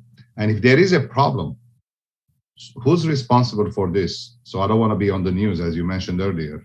So who's going to be responsible for this? The city or our, you know, contractor? That that's a policy decision in the end. Uh, I've been in cities in which the developer is responsible for the entire upsizing of the pipes. Uh, I've been in other cities in which uh, I've done design development where there's another option is they detain the sewage on site and discharge the sewage at night when there's capacity in the system. Um, the other the other option is that the city's collecting a, an overall fee for sewer uh, capacity, and the city has the money to upgrade the pipe as part of an overall capacity enhancement program and expedites that project in order to accommodate the, the development. So there's a lot of options and it comes down to really some policy decisions. Okay. So what, what we've, what we've done in the past developments is that we've incorporated the um, studies and we, we basically uh, make the developers um, actually uh, include that in their proposal as far as upsizing the, the sewer uh, pipes. So we have made the developers uh, part of their plan, uh, overall budget, uh, to include that um, upsizing because it could be, you know, um, quite substantial as far as the cost, uh, depending on the, you know, the number of units, et cetera, et cetera. Could be anywhere from five hundred thousand to a million dollars in some cases. Right. Okay, thank you. Yeah. I may have Yes, one other question for city staff in regards to, nobody told Carollo how much we had in the sewer fund, did they? They came Right up, right up to the line. Want to make sure. No, and just just just to explain our selection process, eh, very very transparent. We went out to the world um, through IMS, which is a, a system kind of like Dodge reports for construction projects. This is for design uh, services. We got really good proposals. Um, we did a two bid um, proposal or two two envelope uh, proposal. We didn't look at prices until we ranked them. Then we took a look at the the, the cost. And fortunately, Carollo was the second lowest, so they, they were had a good price, and so we could award it to them on the value uh, at, a, at a very reasonable price. Okay. Any more questions or comments? Madam City Clerk, do we have anybody from the public wishing to uh, speak on this item? No, we do not, Madam Mayor. Okay, if there, if there are no more questions or comments, then can I get a motion to uh, approve the professional service contract with Carollo Engineering? So moved. Okay, um, I'm sorry, Councilwoman Francis raised her hand. Second. Uh, Okay, thank you. Madam City Clerk, uh, motion was made by Councilwoman Francis and a second by Mayor Pro Tem Tanaka. Will you call the roll, please? Oh, wait a minute, I'm sorry. If you could hold on one second. I'm sorry, uh, Ms. uh, Wiersma, you were getting ready to say something right before we, um, No, it's fine. did you still want to This to? is such an interesting discussion. No, uh, it's fine. Go proceed, Ma- Madam Mayor. Okay, all right, thank you. I'm sorry about that, I forgot. Go ahead, um, Madam City Clerk. council member Francis. Yes. Mayor Pro Tem Tanaka, Yes. council member Henderson, Yes. council member Kaskanian, Yes. Mayor Cerda. Yes. Okay, well, congratulations on uh, receiving uh, the award. And uh, sometimes it gets difficult trying to watch all the reactions, and I'm waiting to hear somebody say something. So um, thank you for having patience with us because this Zoom is still very new, even though we've been doing it for almost two years now. So, um, Thank okay. you for the opportunity, and we look forward to working with the city of Gardena. Really, really appreciate the opportunity and your time tonight. Thank you. Right. Okay, with that um, being done there, let's move on. to Item number 15C, Mr. City Manager? Mayor Cerda, members of the City Council. Agenda item 15C is to award construction contract for the police station sewer pump replacement project, job number 511 to OC Pump Company in the amount of $80,243.82 and declare California Environmental Quality Act or CEQA exemption. Staff respectfully recommends that council award the construction contract for the police station sewer pump replacement project, job number 511 to OC Pump Company uh, from Anaheim, California, in the amount of $80,243.82. Declare this project to be categorical, categorically exempt under the CEQA Class 1, Section 15301D as rehab of existing facilities. The project bids were solicited under the California Uniform Construction Cost Accounting uh, procedures and the City Resolution 6059, which projects that up to 200,000 to be con- contracted by utilizing the pre-qualification list. The following bids were received by January 28, 2022, and OC Pump Company submitted the lowest responsive bid. Uh, OC Pump Company at 80,243.82, Pumpman SoCal at 122,849, Chimney Systems at 131,934 and 39 cents, and MMC Incorporated at 147,410.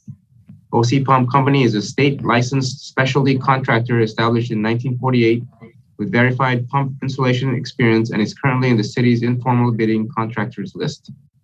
Their qualifications, participation in the mandatory job walk, and understanding of the project make them ideally suited to remove and replace the police station sewer pump system. The current condition of the sewer pump system is considered poor at its best.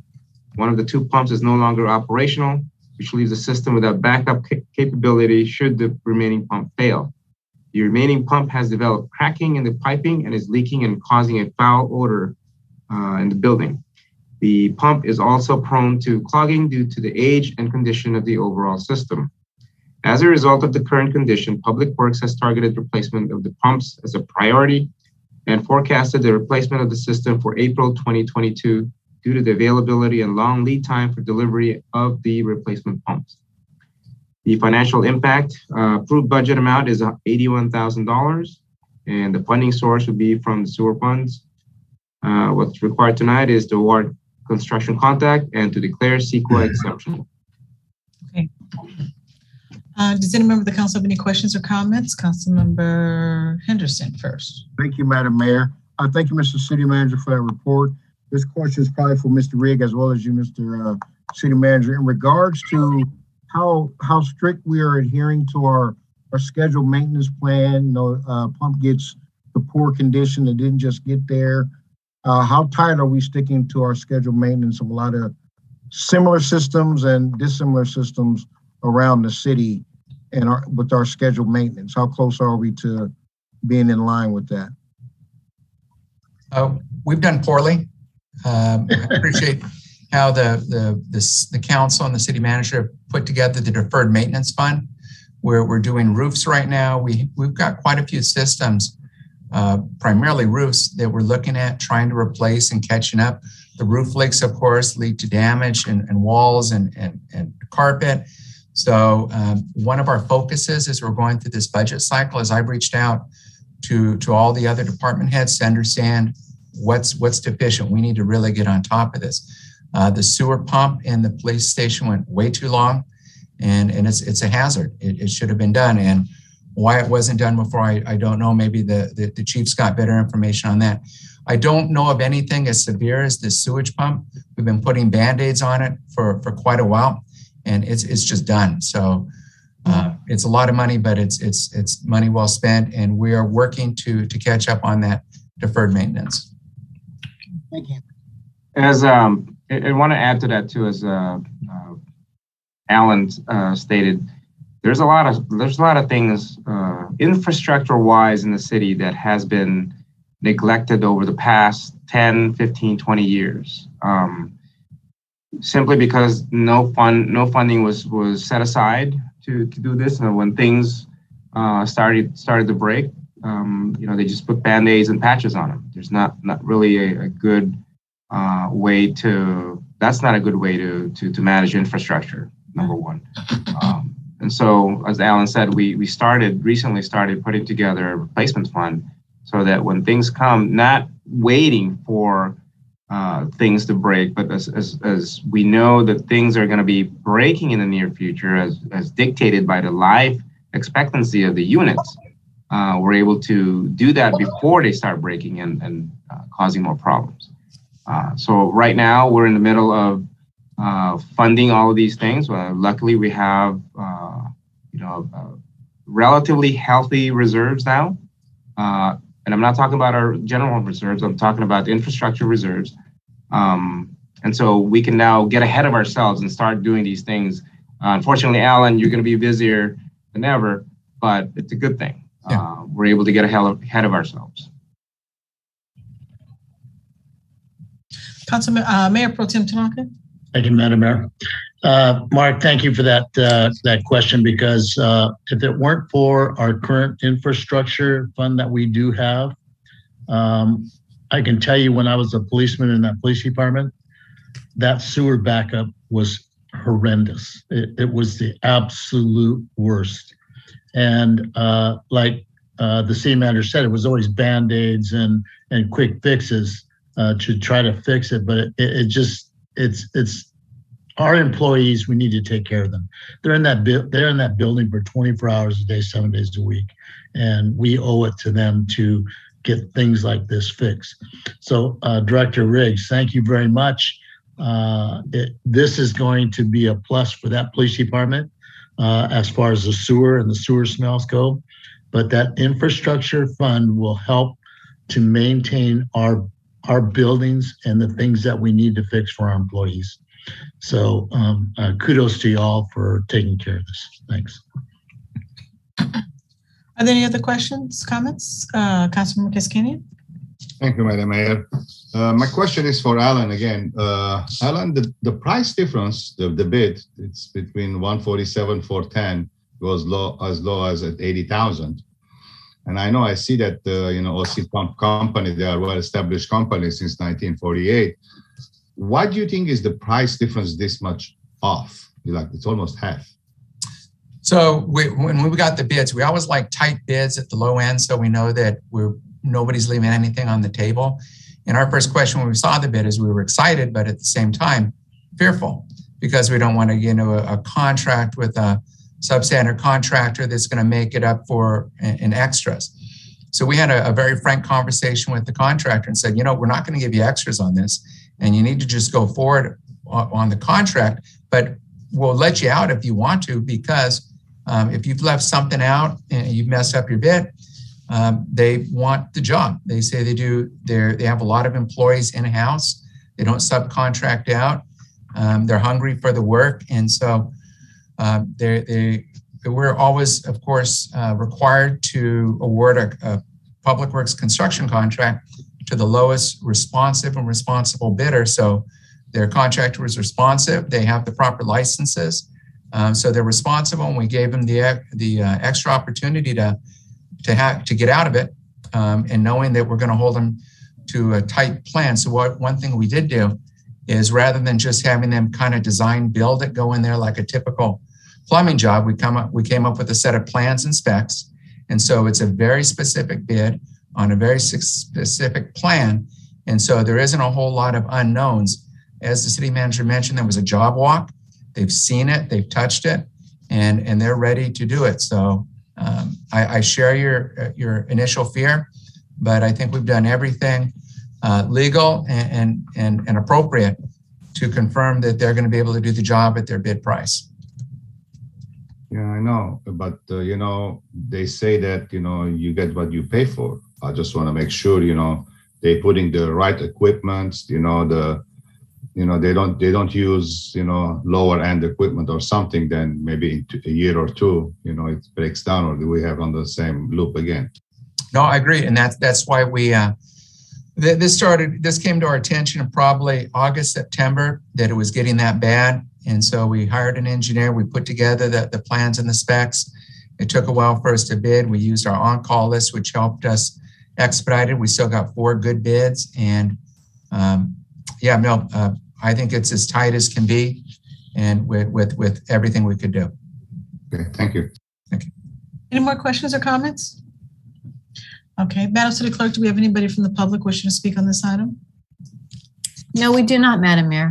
Okay, that being said, um, okay, that being said, can I get a motion, uh, to award the construction contract and uh, also will be declaring this a CEQA exemption? So moved. Is there a second? I'm sorry, is there a second? Second, Henderson. Okay, Madam City Clerk, there was a motion made by Mayor Pro Tem Tanaka and a second by Councilmember Henderson. Will you call the roll, please? Mayor Pro Tem Tanaka, Yes. Councilmember Henderson, Yes. Councilmember Kaskanian, Yes. Councilmember Francis, Yes. Mayor Cerda. Yes. Okay, next up is item number fifteen D, Mr. City Manager. Mayor Cerda, members of the City Council, agenda item fifteen D is Gardena Public Geographic Information System or GIS Viewer. June twenty, in June twenty twenty-one, Public Works Department began working with, to develop a geographic information system for the city of Gardena. The GIS is a computer-based mapping and information system. GIS enables the city to link information about places, events, and facilities to their correct location on a map, thereby providing a, an easy access to the graphical and tabular information. Smaller cities like Gardena are best served utilizing an outside vendor to host the GIS data and, no, uh, and to provide a browser for staff and the public to access the data. Staff requested proposals from various GIS vendors and found Nobel Systems to be the best qualified and at a very reasonable cost of $20,000 per year.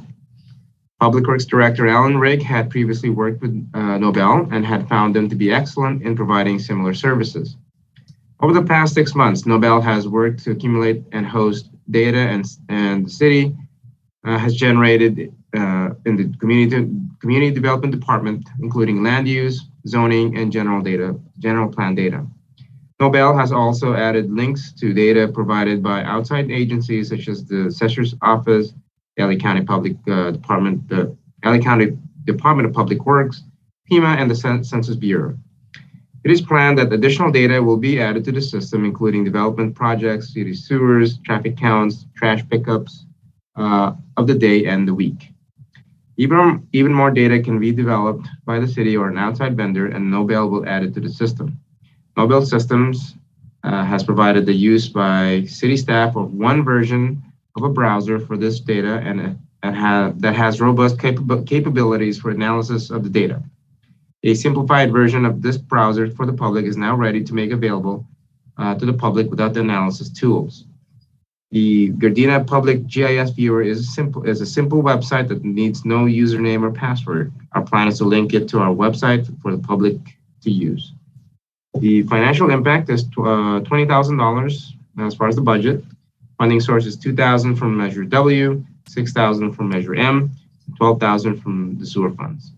The what's required tonight is to receive and file. I believe we have a presentation tonight. Okay, let's go ahead. I think I'm going to go ahead and share my screen here. You guys see that okay? Yes. Okay, thank you. Um, again, timing is everything. Uh, we were we've been working on this, and when Councilmember Henderson brought it up the last meeting about GIS, it was uh, it was good timing. So what I would like to show you is is that tonight I'll be brief, um, and and just remember it's it's a beginning, and we have much more to do. So what I've done is all I've done is put in the very simple website, and you can go ahead and click on the the uh, system. So uh, as the city manager described, our GIS system is now up and running and staff has been using it for seven months for detailed analysis of data and in particular for radius maps. We actually currently have 64 staff members who have reached out to us and have login credentials. This next week, we will launch the public view and I will give a demonstration of some of the capabilities here. You can see the basic uh, uses of our new GIS. Just to clarify, tonight is a demonstration of new capabilities we will be providing to our residents and businesses under an existing contract, which will help increase transparency and requires no action uh, by you tonight except to, to receive and file. Uh, I'd like you to see there's these are the different layers that we've built up so far on the left side of the screen. And I'd like to, to indicate that we want to add a whole bunch of additional information. The first thing, and working with the city clerk's office, I know this is one of our, our biggest headaches, which is what is the boundary of the city of Gardena? And here you can see it's, it's rather regular. Uh, one of the areas, one of the things that's interesting is people um, think and wish they were in the city of Gardena, but you can see even parcels east of the freeway, you go in and click on them, they still have the Gardena mailing address. So when people call and they want to say, am I going to live in Gardena or not? They can go ahead and make a decision. They may be looking at different houses to buy, but now they can look at the boundary and see they can actually be within our city. Another issue that we get into quite a bit is um, who owns the street and who needs to work on stuff. In particular, you can see this is an interesting area here. The red line being the boundary of the city of Gardena. So here's Gardena, here's uh, Hawthorne County LA, whatever it might be, Torrance actually, I'm sorry. And you can see how the boundary on, on Artesia is actually at the north curb line. And on Gramercy Place, where I know we get complaints of speeding and dilapidated street conditions, it's actually entirely within the city of Torrance. So it helps our staff and helps our residents and potential residents to take a look and see where is actually the, the boundary. I'd like to go in, I'm going to click on one of the uh, properties here. You can click on any property. And in this tab, you can see a variety of different information. Give you the address, the APN, the year it was built. As we're talking, there's homes here from the 20s, as well as the, the acreage of the property. Um, all of this data is a simple link to the assessor's, LA County assessor's website. So one thing that we're very particular of is if we're going to go ahead and give information to the public, that it's either information that we're sure of, if we're going to produce it, that's not personal or going to be impactful, uh, but also we link the data to other websites that are publicly available. There's other information that's available on the website. Um, one of them is liquefaction zones. I'll go ahead and click on that. And here you can see this is a layer from FEMA that goes through and shows where there's areas of liquefaction. So if you were going to develop a home, this might indicate that you have to have deepened footings in the area that you, um, if you're in these areas because of the sandy soil and possibility uh, of liquefaction. Some other information that's that's maybe not as useful on a day-to-day basis, but when we need it, it's going to be very valuable. From the assessor again, I think it's from the assessor. We have the um, census tract information. We also have the census block information. So very detailed data. As you can see, you zoom in, you can see it. You can click on a parcel, you can get what block it's in. Another interesting uh, feature that we have from the um, from the county, fortunately, and not from the county Department Public Works, is on our storm drains. So you can click on the storm drain layer, and you can see all of our storm drains, which way they're going. You can zoom in, you can see catch basins, you can see manholes, you can see how they all flow down to the Dominguez Channel. And so this is very important information for us as a city maintaining our catch basins and also for a lot of the low flow development from um, new developments that want to connect to catch basins, they'll be able to, to see where they're out, where they are. I'm going to go ahead and zoom uh, into a parcel. And, and when, when we started this, the Community Development Department had spent a lot of time developing uh, data per parcel as far as these last three uh, items here, which are very, very valuable, and it's going to be very valuable for the public to see. First, the general plan. So you can click on a parcel, this one here. You can see the general plan, it's, it's low residential. See what's actually the land use is, the same parcel as low density residential. And then finally, you can go into zoning, you can see that it's R1.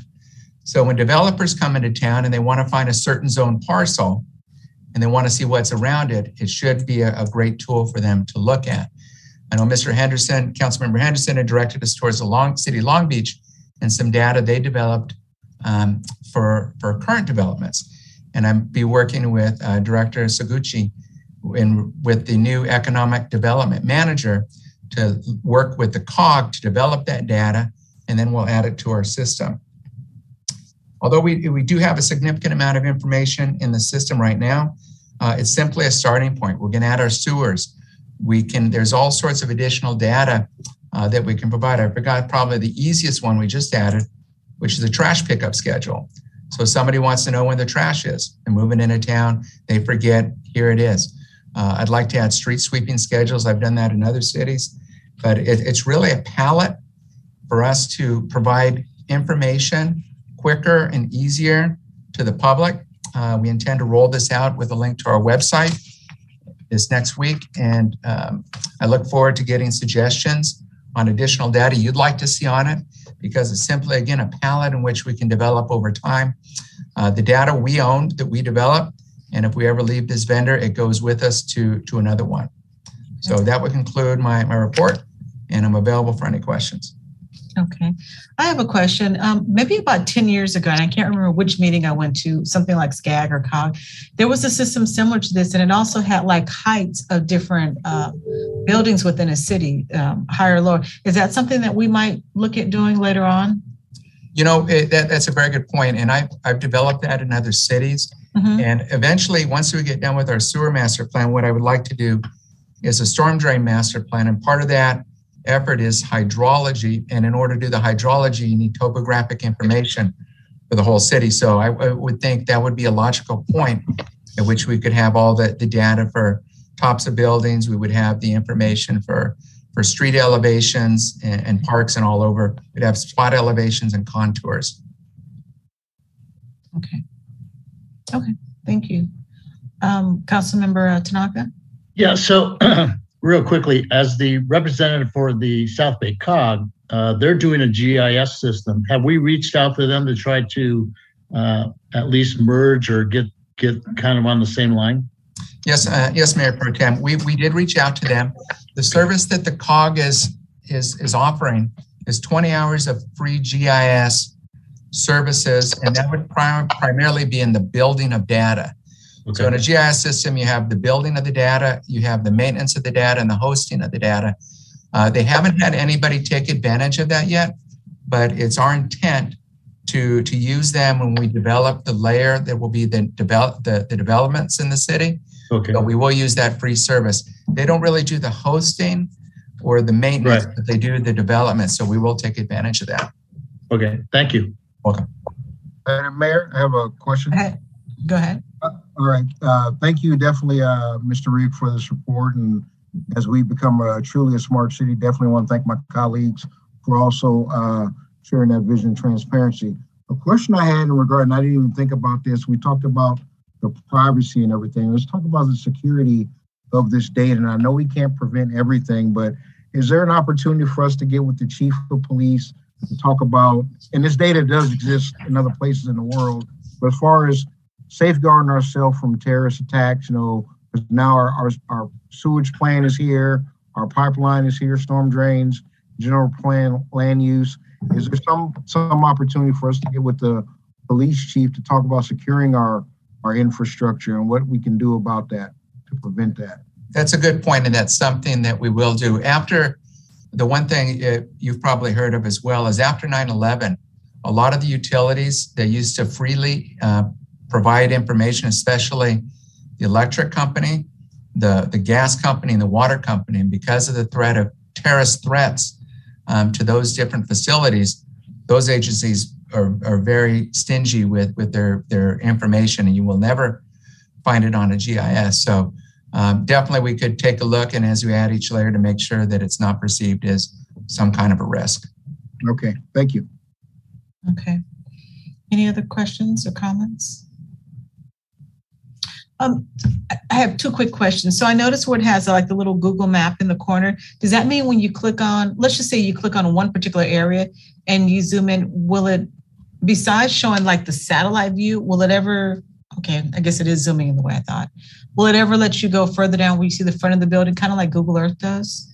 It does. And you know, I brought this up on Mozilla Firefox and I can't get, I, I noticed as soon as I had it ready, it Okay. has a street view. And actually what's uh, two, two things actually. One, see if this will work.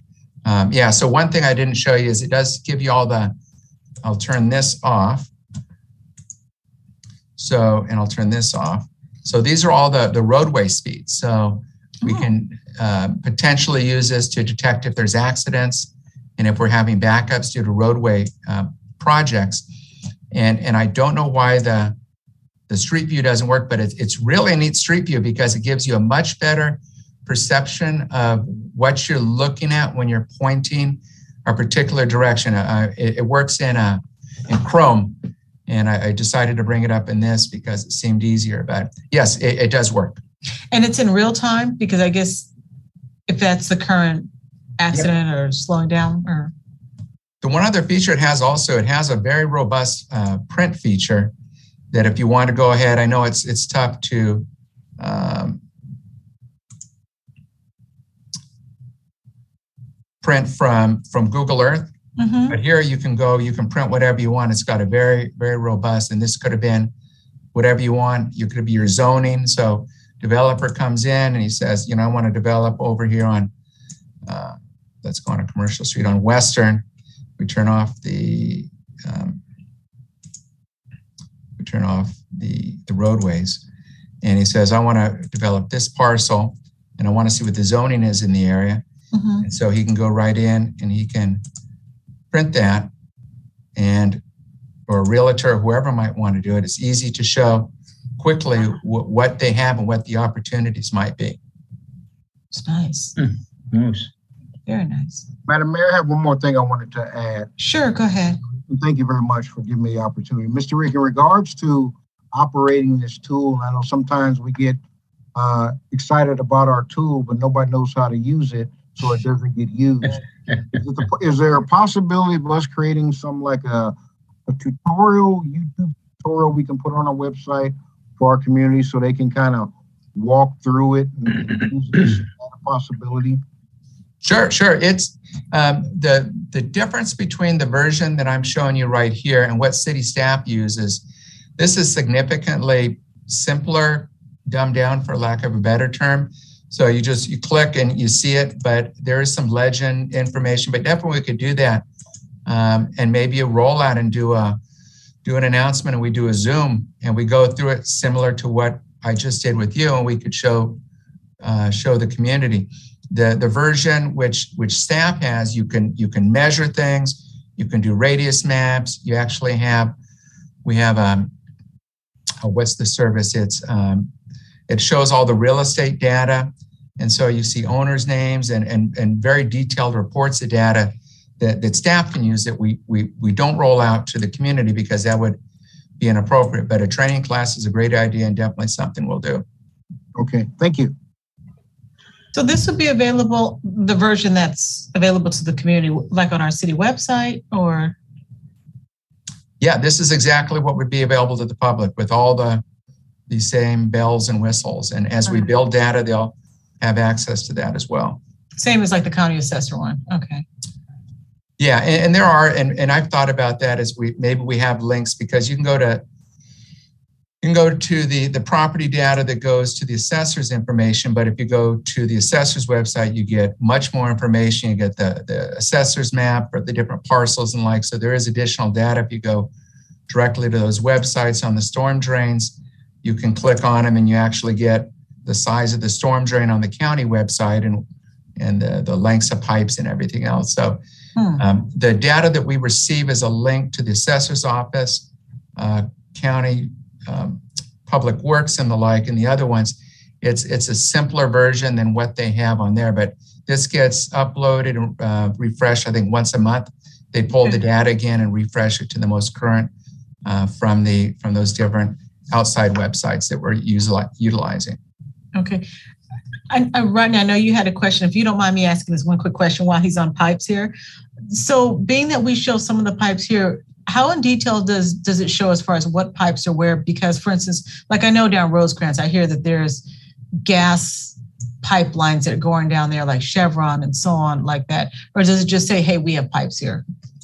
Uh, we we wouldn't. That that data is not public. That's not uh, public. Okay. No, the, the data, and, we, and I know we've got the pipelines on Rosecrans is again with the terrorist threat, anything that could be sabotaged and the like, whether it be oil, gas, electric, uh, that data is just simply not public from those agencies. Got it. Okay, thank you. Uh, Mayor Protem? Uh, thank you, Madam Mayor. So um, Councilman Henderson got my wheels spinning about when he started talking about the police department. So we we do district policing, and uh, Director Riggs, this is a great program. But with our district policing, they put out crime maps like you're showing. Is it possible for us to uh, allow the public to see our uh, crime stat maps? Well, I could absolutely put it up there. It would, uh, of course, be up to the chief if he wanted to release it to the public. But uh, I mean, are you, are the other other areas, the neighborhood watch. We Well, the dis- each types- district has their uh, district lieutenant, and the lieutenant puts out a city map, and it just kind of shows where, say, the auto thefts are, the burglaries, the robberies, those kind of things, and it's just a it's a spot map. And so on your left hand side for your ledger, if you had a little thing that just said crime stats or something, they could maybe put those maps up just so people could see what what's there. Sure, absolutely. Um, I would leave it to him if, if he was comfortable putting that, uh, how detailed he'd want to put that data out there. Maybe if there was a crime right here, you wouldn't put it on the parcel, but you'd put a big blob. And Right. I'm sure there's a way we could do it in which we could convey the information uh, enough of a location that people would know, but wouldn't uh, jeopardize. Right. It's specific air, kind of area like thing. It's just, it's like in this area, we had this, in this area, that. it's wide open. Whatever whatever we want them to host, whatever we're willing to develop, uh, we'll go out. We can we can do it just for for the uh, for for staff. I mean, this tool also could be used. We have layers that are just for staff, and and maybe in the police department they plot all the locations with the exact addresses, and they can do some kind of of crime analysis. It's it's it's Right. there's so many opportunities with GIS. Yeah, thanks. That, that's a, it's a good program. I like it. Thank you. Very good. All right. Any more questions or comments? Madam City Clerk, do we have anybody from the public um, who has a question? A Comment? No, we do not, Madam Mayor. Okay, well, very good. Um, Well, Alan, thank you very much. It was very informative. As you can see, the whole council was just very excited about this project. Um, Really good. And I guess if anybody has any suggestions, um, things that, you know, uh, we think that the community might be interested in, I'm sure we can share with, share that with the city manager and he can refer it over to, uh, to uh, Alan and uh, go from there. So. Will do. Thank you very much. Yeah, thank you. You know, I just thought about something. We have a recy, a park that has uh, recycled water. I don't know if that's important to put on there either, so I don't know. Just an idea. But anyway, Too we're gonna, information. yeah, we're gonna receive a pile this item here. A lot of information. Okay. Um, next up is council directives. Does any member, member of the council have a directive? Um, that they, uh, go ahead, Councilman Kaskanian. Thank you, Madam Mayor. Uh, Mr. City Manager, uh, I, I asked this question probably a year ago or two years ago. What's going on on uh, southeast corner of Western and Marine? That abandoned building has no no uh, no doors. Uh, you know, homeless people sleep in it, and some graffiti is going on again. So uh, I heard last time that uh, Coffee Beans was coming there, and this one was two years ago. So do we know what's going on over there? Not not off top of my head. Um, since it's a prior director, I can just give you an update again. I think we we gave you an update before, um, but I think at that time we said the last update we gave you was that we said that um, uh, they're putting up boards and they're getting ready for some uh, um, changes in there, and um, we haven't heard anything back. So I think it's time to do an update again. Yes, please, uh, because uh, there is uh, some issues that you know, I drive up on that street maybe gazillion times a day, and I see people are coming in and out that uh, that building, and I even you know called the authorities as well to you know follow up what's going on there. So give you a follow up. Need a second, uh, Art, for that? I think so. Yeah, Okay, okay, I'll second that. thank you. Any other directors? Madam Mayor, I have one. Go ahead. So I know we, we've been fighting Sacramento on local control. I, I would like to see if we could get some, uh, research on the resolution to create a resolution to oppose initiative twenty-one 42 Alpha One. It's something that the league is looking into, uh, in regards to uh, business taxes and controlling uh, tax revenues and bypassing the voters and different things like that. I think the business community is looking to to put something on the ballot, and I was wondering if we could just kind of get some research on potentially creating a opposition resolution. Ca- Councilmember uh, Henderson, I know that the League of Cities has provided us with uh, some information already um, on this potential possible initiative that we can forward to all of the council members. I know there's an attached um, resol- proposed resolution in opposition that they have provided us as well. So we can forward all that to each one of you um, since it's information that the league has already put out. Um, and then if you choose um, to give, you know, in future meeting a directive that you want us to prepare that opposition resolution, we'd be more than happy with that. Suffice your request at this time. Yeah, that would be great. Perfect. That way everybody can kind of look at it. Absolutely. What we'll do. Thank you. Thanks for asking for that, Mark.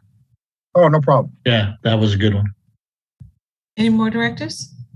Oh, yes, Madam Mayor. Go ahead. Um, I- I'm, I'm asking, you know, it's, it's the property there on El Segundo and Crenshaw. We approved a project there almost a year ago. And um, there's been, um, there's been some cleanup. First, there was an old um, motorhome that was parked there for a long time. And then there's a, you know, we, we um, did Gardena Direct on it. They moved it. And then there's a wreck car and then they moved it. Well, now there's, uh, I'm just trying to figure out who's responsible for making sure this, this project, they put barbed wire on top of the fence as if to keep someone out, but the fence is falling falling down, so you can just walk right through it. There's a trash bin there, um, and it's just um, and then the whatever screen they they try to put up is flying in the air, and we keep reporting to Gardena Direct and all that, but who is um, responsible for making sure that that property is maintained? And, and I mean, because it's right there at El Segundo Crenshaw, and after, after so many times, you know, being reported, what what can we do to make sure they clean this property up, or at least you know put in until they do something about it? Their old buildings there, people were homeless people were sleeping in there at one time. So what what can we do? Nothing. Councilwoman Francis, if it's okay with City Manager Osorio, I would like to discuss it first with code enforcement as to what the current status is. As you know, in, in prior properties that we've had similar issues, we've sought litigation and receivership actions. And I don't know, this isn't, I'm, I'm not having that conversation yet. Um, for, but at least um, if it's okay with you, we can have code look into it and then provide an update. City, Mr. City Manager, is that okay with you? That's fine. Yeah, I'll second that because um, you're right, that, that RV out there and so on. I was wondering too, so. Yeah, thank you. Madam Mayor, I have one more thing. Okay, hold on a second. Councilwoman Francis, were you finished? Oh, sorry. Thank you. Okay, go ahead. All right, this is more of a, a question, Mr. Sand, and this might be a phone call, not necessarily a directive. What what are the parameters that that prevent us and or allow us to create an internship when we're spending our dollars for professional services, like a 15 or 20 hour a week opportunity for some high school or college student in the discipline that we're working. So for instance, we have explorers, the assumption is they'll work in public safety. In this particular thing that we did, uh, professional services, there will be a public works type of uh, student or somebody's working in some some engineering field or something like that. Is there anything that disallows us or does not allow us to actually put that in our, our, our contract for professional services that you should provide 20 hours of internship work and then the city of Gardena can kind of oversee those students? Or is that a phone call or is that, because that's really not a major director, it's kind of a question. So we we currently utilize a lot of interns now. We do that now. Um, you know, ranging from uh, uh, you know different tasks or disciplines here at the city hall, uh, city manager's office, uh, city clerk's office. I believe has have, has had uh, intern admin services has had uh, interns in the past. Um, know, we can tap into that as far as um, uh, individuals interested in, in, in these type of things. But I think what you're asking for is before we get into a contractual agreement with a contractor, are we are we asking them to are we mandating them to use um, intern individuals as part of the program, as part of the, the contract. Right, and I don't really want to say mandate because I don't think you can really tell people how to create their staff, but is there something that stops us from doing that? So that may be just a So- phone call or question. There's some legal implications with controlling their staff and the potential exposure that they would have. Um, can we promote that we encourage them to um, hire interns? I mean, that that's something we can encourage, but we can't mandate them, nor can we um, base the awarding of the contract on that mandate either. Wasn't there a, wasn't there a program where we allowed um, youth that were interested in like public works or um, other departments that they could come and like uh, volunteer their time and be like learn the job? I forget that there was a program. I forget the name of it, but uh, kids could come and and apply and we could actually put them on jobs to learn like an apprentice. We have, um, we have partnerships with Long Beach and Dominguez for interns. Uh, uh, you know, I mean, we, we typically have in any given year, we have a, a number of different interns that we assign to different departments, depending on the field that they actually choose. Um, but as far as an actual program in the city, I, I don't I don't recall having a, an actual name of the program that actually deals with it. I think it was a it was like a summer program where kids can come down and and volunteer during the summer. I forget what it was called. But um, I mean, we can certainly So let, let me think it through a little more. I just wanted to kind of see, because I don't want to make it a directive tonight to kind of tighten it up a little bit, just to see what we can do. But I was just thinking about that. We have our Explorers program that we support and or fund. Is this an opportunity for us to figure out how we could do something for some of the other disciplines as we start talking about capacity building and future employees and different things like that? Phone call. Yeah, I mean, we, we're open to that because we, we, we use interns now on a regular basis. Yeah. Uh, So it- I think it's just a matter of, ma- might be just a matter of matching them with the, the, the field that they, well, we do that now and we ask them, hey, you know, what would you like to, what would you like to learn while you're here? Because it's a two-way street. Um, we get to utilize them and, and in turn, um, they get to learn about city government. And Obviously, it's their choice where they want to, where they want to go. Okay. Uh, but we highly, highly encourage that now with, with the students and we, we take them in on a regular basis. Okay. All right. So that's that's someone I wanted to kind of bring forward. And I'll call you as I kind of think it through a little more. Thank you for your time. Any more directors? No? Okay, uh, let's move on to city manager remarks regarding our previous directives. Mayor Cerda, members of the city council, I have two memos that have been sent to the city council. The first one is uh, council directed by Councilmember Henderson regarding options available to make uh, financial transparency for the public uh, and make it more feasible. Um, We've identified three possible options, each coming with a price tag. Uh, So we just have to see which one fits our um, uh, fits the city better. Second memo is uh, regarding recommendations for the removal of a red curb along Western Avenue uh, that was brought forward uh, uh, to the attention of Councilmember uh, Henderson by one of our residents. The such removal of the red curb has been uh, recommended by traffic investigator Jose Zamudio and approved by Chief Saffell. I have a few announcements here. Share my screen. First one is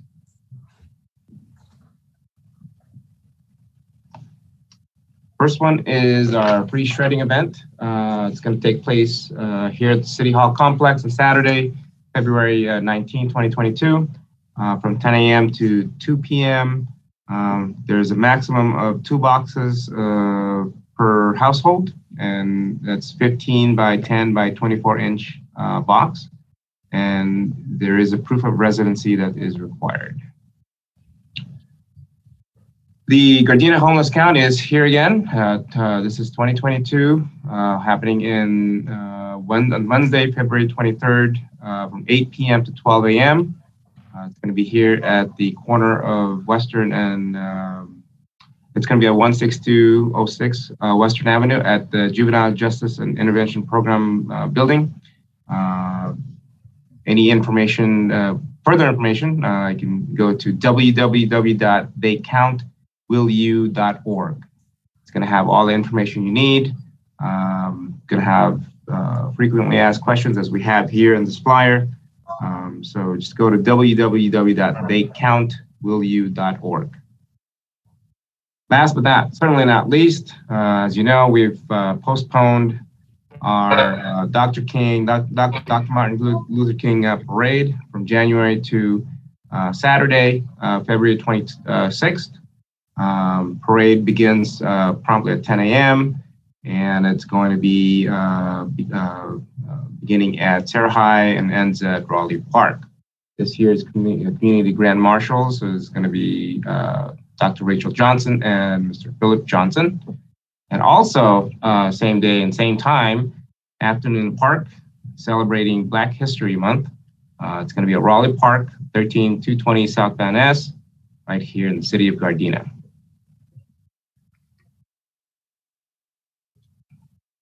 And Madam Mayor, that sends my report. Okay, thank you. Um, next up is council remarks. We're going to begin tonight with Councilmember Kaskanian. Thank you, Madam Mayor. Since our last meeting, uh, I was pretty much quiet, so not much to do. Uh, I went and we present uh, a trophy to Cherry Stone. I was over there. Uh, congratulations to uh, Leonard Kim and his wife uh, for the award. And go Rams! Sunday, Sunday we have a Super Bowl. Please drink responsibly. Don't drink and drive. Stay at home. The couch is the best seat at home. So go Rams. Okay. That's it, Madam Mayor. All right, thank you. Um, next up is Councilmember Henderson. Mayor, I think since our last get together, I uh, went to our special council session on, man, I, I just, it just drew a blank, but yeah, you all were Housing there. element. Yeah, house. that thing. Yeah, that thing. Uh, I went to and the environmental justice element. Yeah, yeah, no, yeah, that's what it was. So everybody. And I was there too. That yeah, that that took me. I took that personal, that environmental uh, justice element. So we'll talk about that at next meeting for sure. I uh, went to my BizFed responsible governance meeting. I participated in the uh, LA County sustainability workshop and got some resources there in regards to what we can do in community sustainability. Uh, uh, participated in a meeting with SCAG in regards to this tool, similar to what was presented to us tonight. It's called Greenprint. And what Greenprint does, it allows for developers to look from a GIS standpoint of the green space in certain areas when they're doing development and different things like that. You know, every every city, every county's got its issues. Some of our neighboring counties have issues with development and a lot of the green space that they have. So that's up for debate. So it's pretty interesting to kind of hear what they're concerned about. I attended my uh, South Bay Fiber Network meeting through the COG. We were talking about next steps for communities and cities. So we're, we're kind of moving forward on that. I also uh, spoke with our new senator and his staff in regards to some of the things that Gardena is looking to highlight, what we're looking to do moving forward. I'm sure he's, if he hasn't already met with some of you already, Senator Ben Allen, uh, which will be representing now our, our city. Uh, I'm sure he's going to reach out to each one of you. I know we all have our different things that are near and dear to our hearts and everybody that that supports us as we all support the city of Gardena. So he wants to hear from uh, all of us. And uh, I'll wait till we'll talk about the environmental justice element. Again, at that meeting, I, I took that a little personal because it, it highlighted a lot of things that I felt that we were doing. So it's just kind of now making sure that we are keeping up with that And then maybe we aren't doing some of those things. As it was stated this evening, we aren't up on our deferred maintenance. So now we need to really get up on that. So there are room, there is room for improvement. There are a lot of things that we can do, but I think the past five or six years, there are a lot of accomplishments that we should be proud about in regard as uh, what a body can do. So again, I want to thank my colleagues for having some vision and being supportive of one another as we keep moving Gardena forward. But Madam Mayor, that ends my report. Okay, thank you. Um, next up is Councilmember Francis. Yes, uh, since the last last time we met, um, I attended a special award presentation of the Dr. Martin Luther King Jr. Culture Committee essay contest winners. Uh, we um, presented, you know, due to COVID, we weren't able to have our our um, our normal Friday night youth program. So we did a special presentation on Saturday, January 29th, and we presented the, the certificates and scholarship awards to our um, elementary, middle school, and high school students for second and third place. I also uh, attended as a judge for the Gardena Lions speech contest, heard two um, two speakers, two speech um, contestants, and they spoke on. They asked the question whether or not kindness could unite our country, and got some uh, two very interesting perspectives.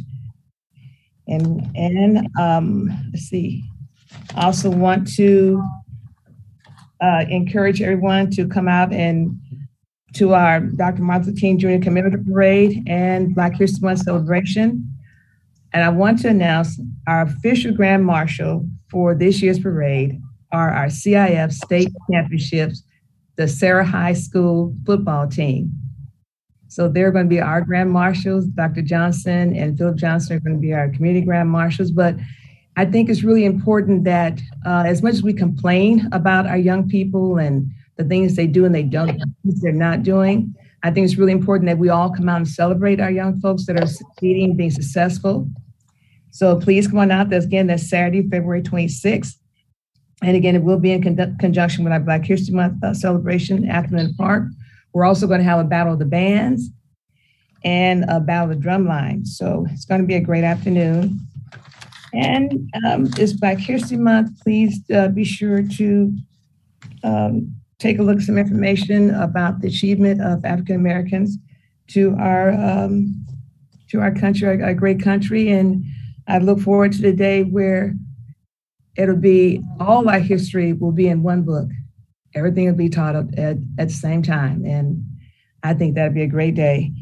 And um, Valentine's Day is coming up uh, Monday. So I want to wish everybody happy Valentine's Day. And of course, um, be safe. They say that there the stadium, SoFi Stadium seats 70,000, but there are 150,000 folks that are going to be in our city, or not in our city, but in attending Super Bowl.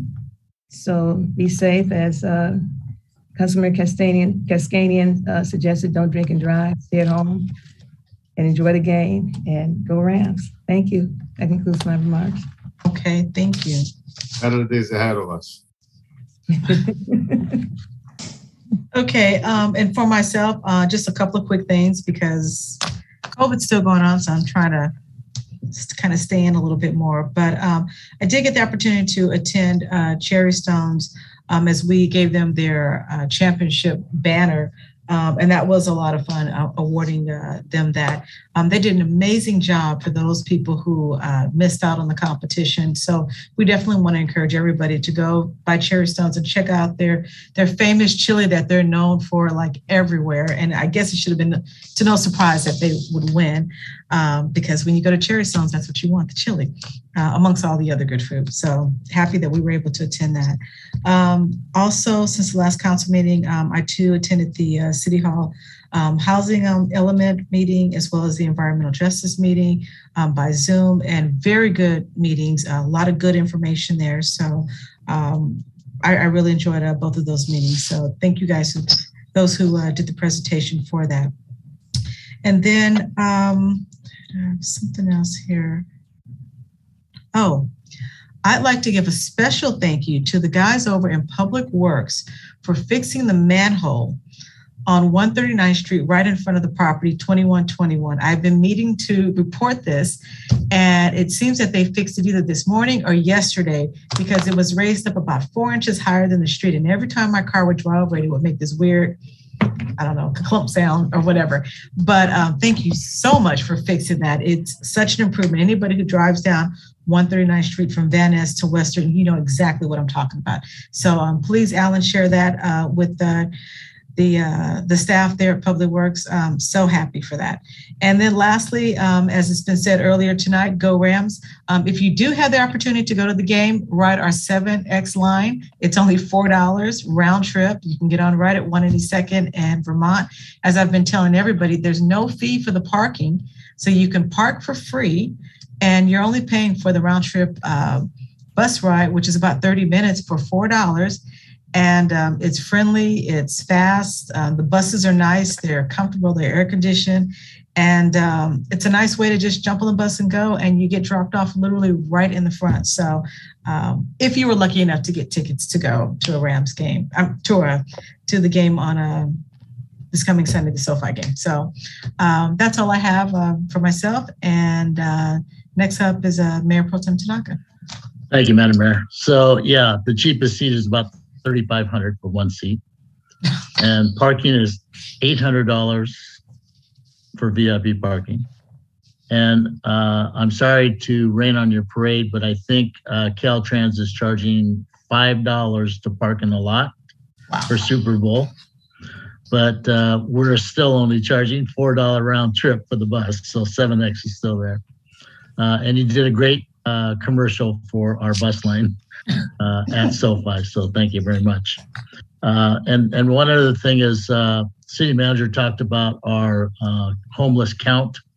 You can actually go on uh, the website for that homeless count and register and do all the preliminary preliminary things that you need to do in order to be a person that counts. So go on that website. That's an important thing. Uh, so the last thing that we, uh, since the last meeting, uh, I did attend the housing element. Uh, unfortunately, I couldn't do the second one because I had the COG board meeting on Thursday.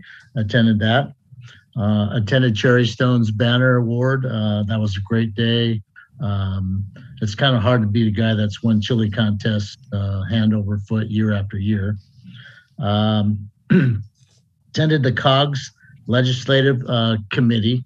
Um, we have to start pressing for, uh, I think it's SB 809, uh, and it has to do, uh, I think, with uh, uh, the other thing that I attended was the South Bay's uh, Housing Trust. that right now the COG is trying to um, promote a housing trust for the South Bay. Um, and that would give us money if we did SB 809. Um, and yes, Mark, uh, Senator Allen, uh, I think I have a, an appointment with him next week. Um, and it's, it's, it's a good thing that he's reaching out to us because he's now a part of us. Um, and he's looking to see how much he can help us. So hopefully he can gain some money in. Uh, and that, uh, Madam Mayor, ends my report. Okay, thank you. Um, so we mentioned already the announcements um, that are coming up um, over the next month here now.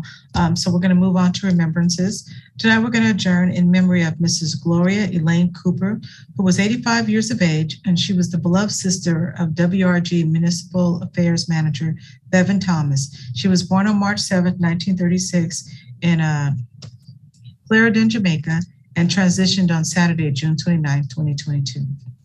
So at this time, the Gardena City Council will adjourn to the closed session portion of the City Council meeting at 7 p.m., followed by the regular City Council meeting at 7.30 p.m. on Tuesday, February the 22nd, 2022. So we are now adjourned. Go Rams. Good night, everyone. Good everyone. night, everyone. Be safe. Good night. Hey, uh, happy Valentine's Day. Happy Valentine's Day and better days are coming.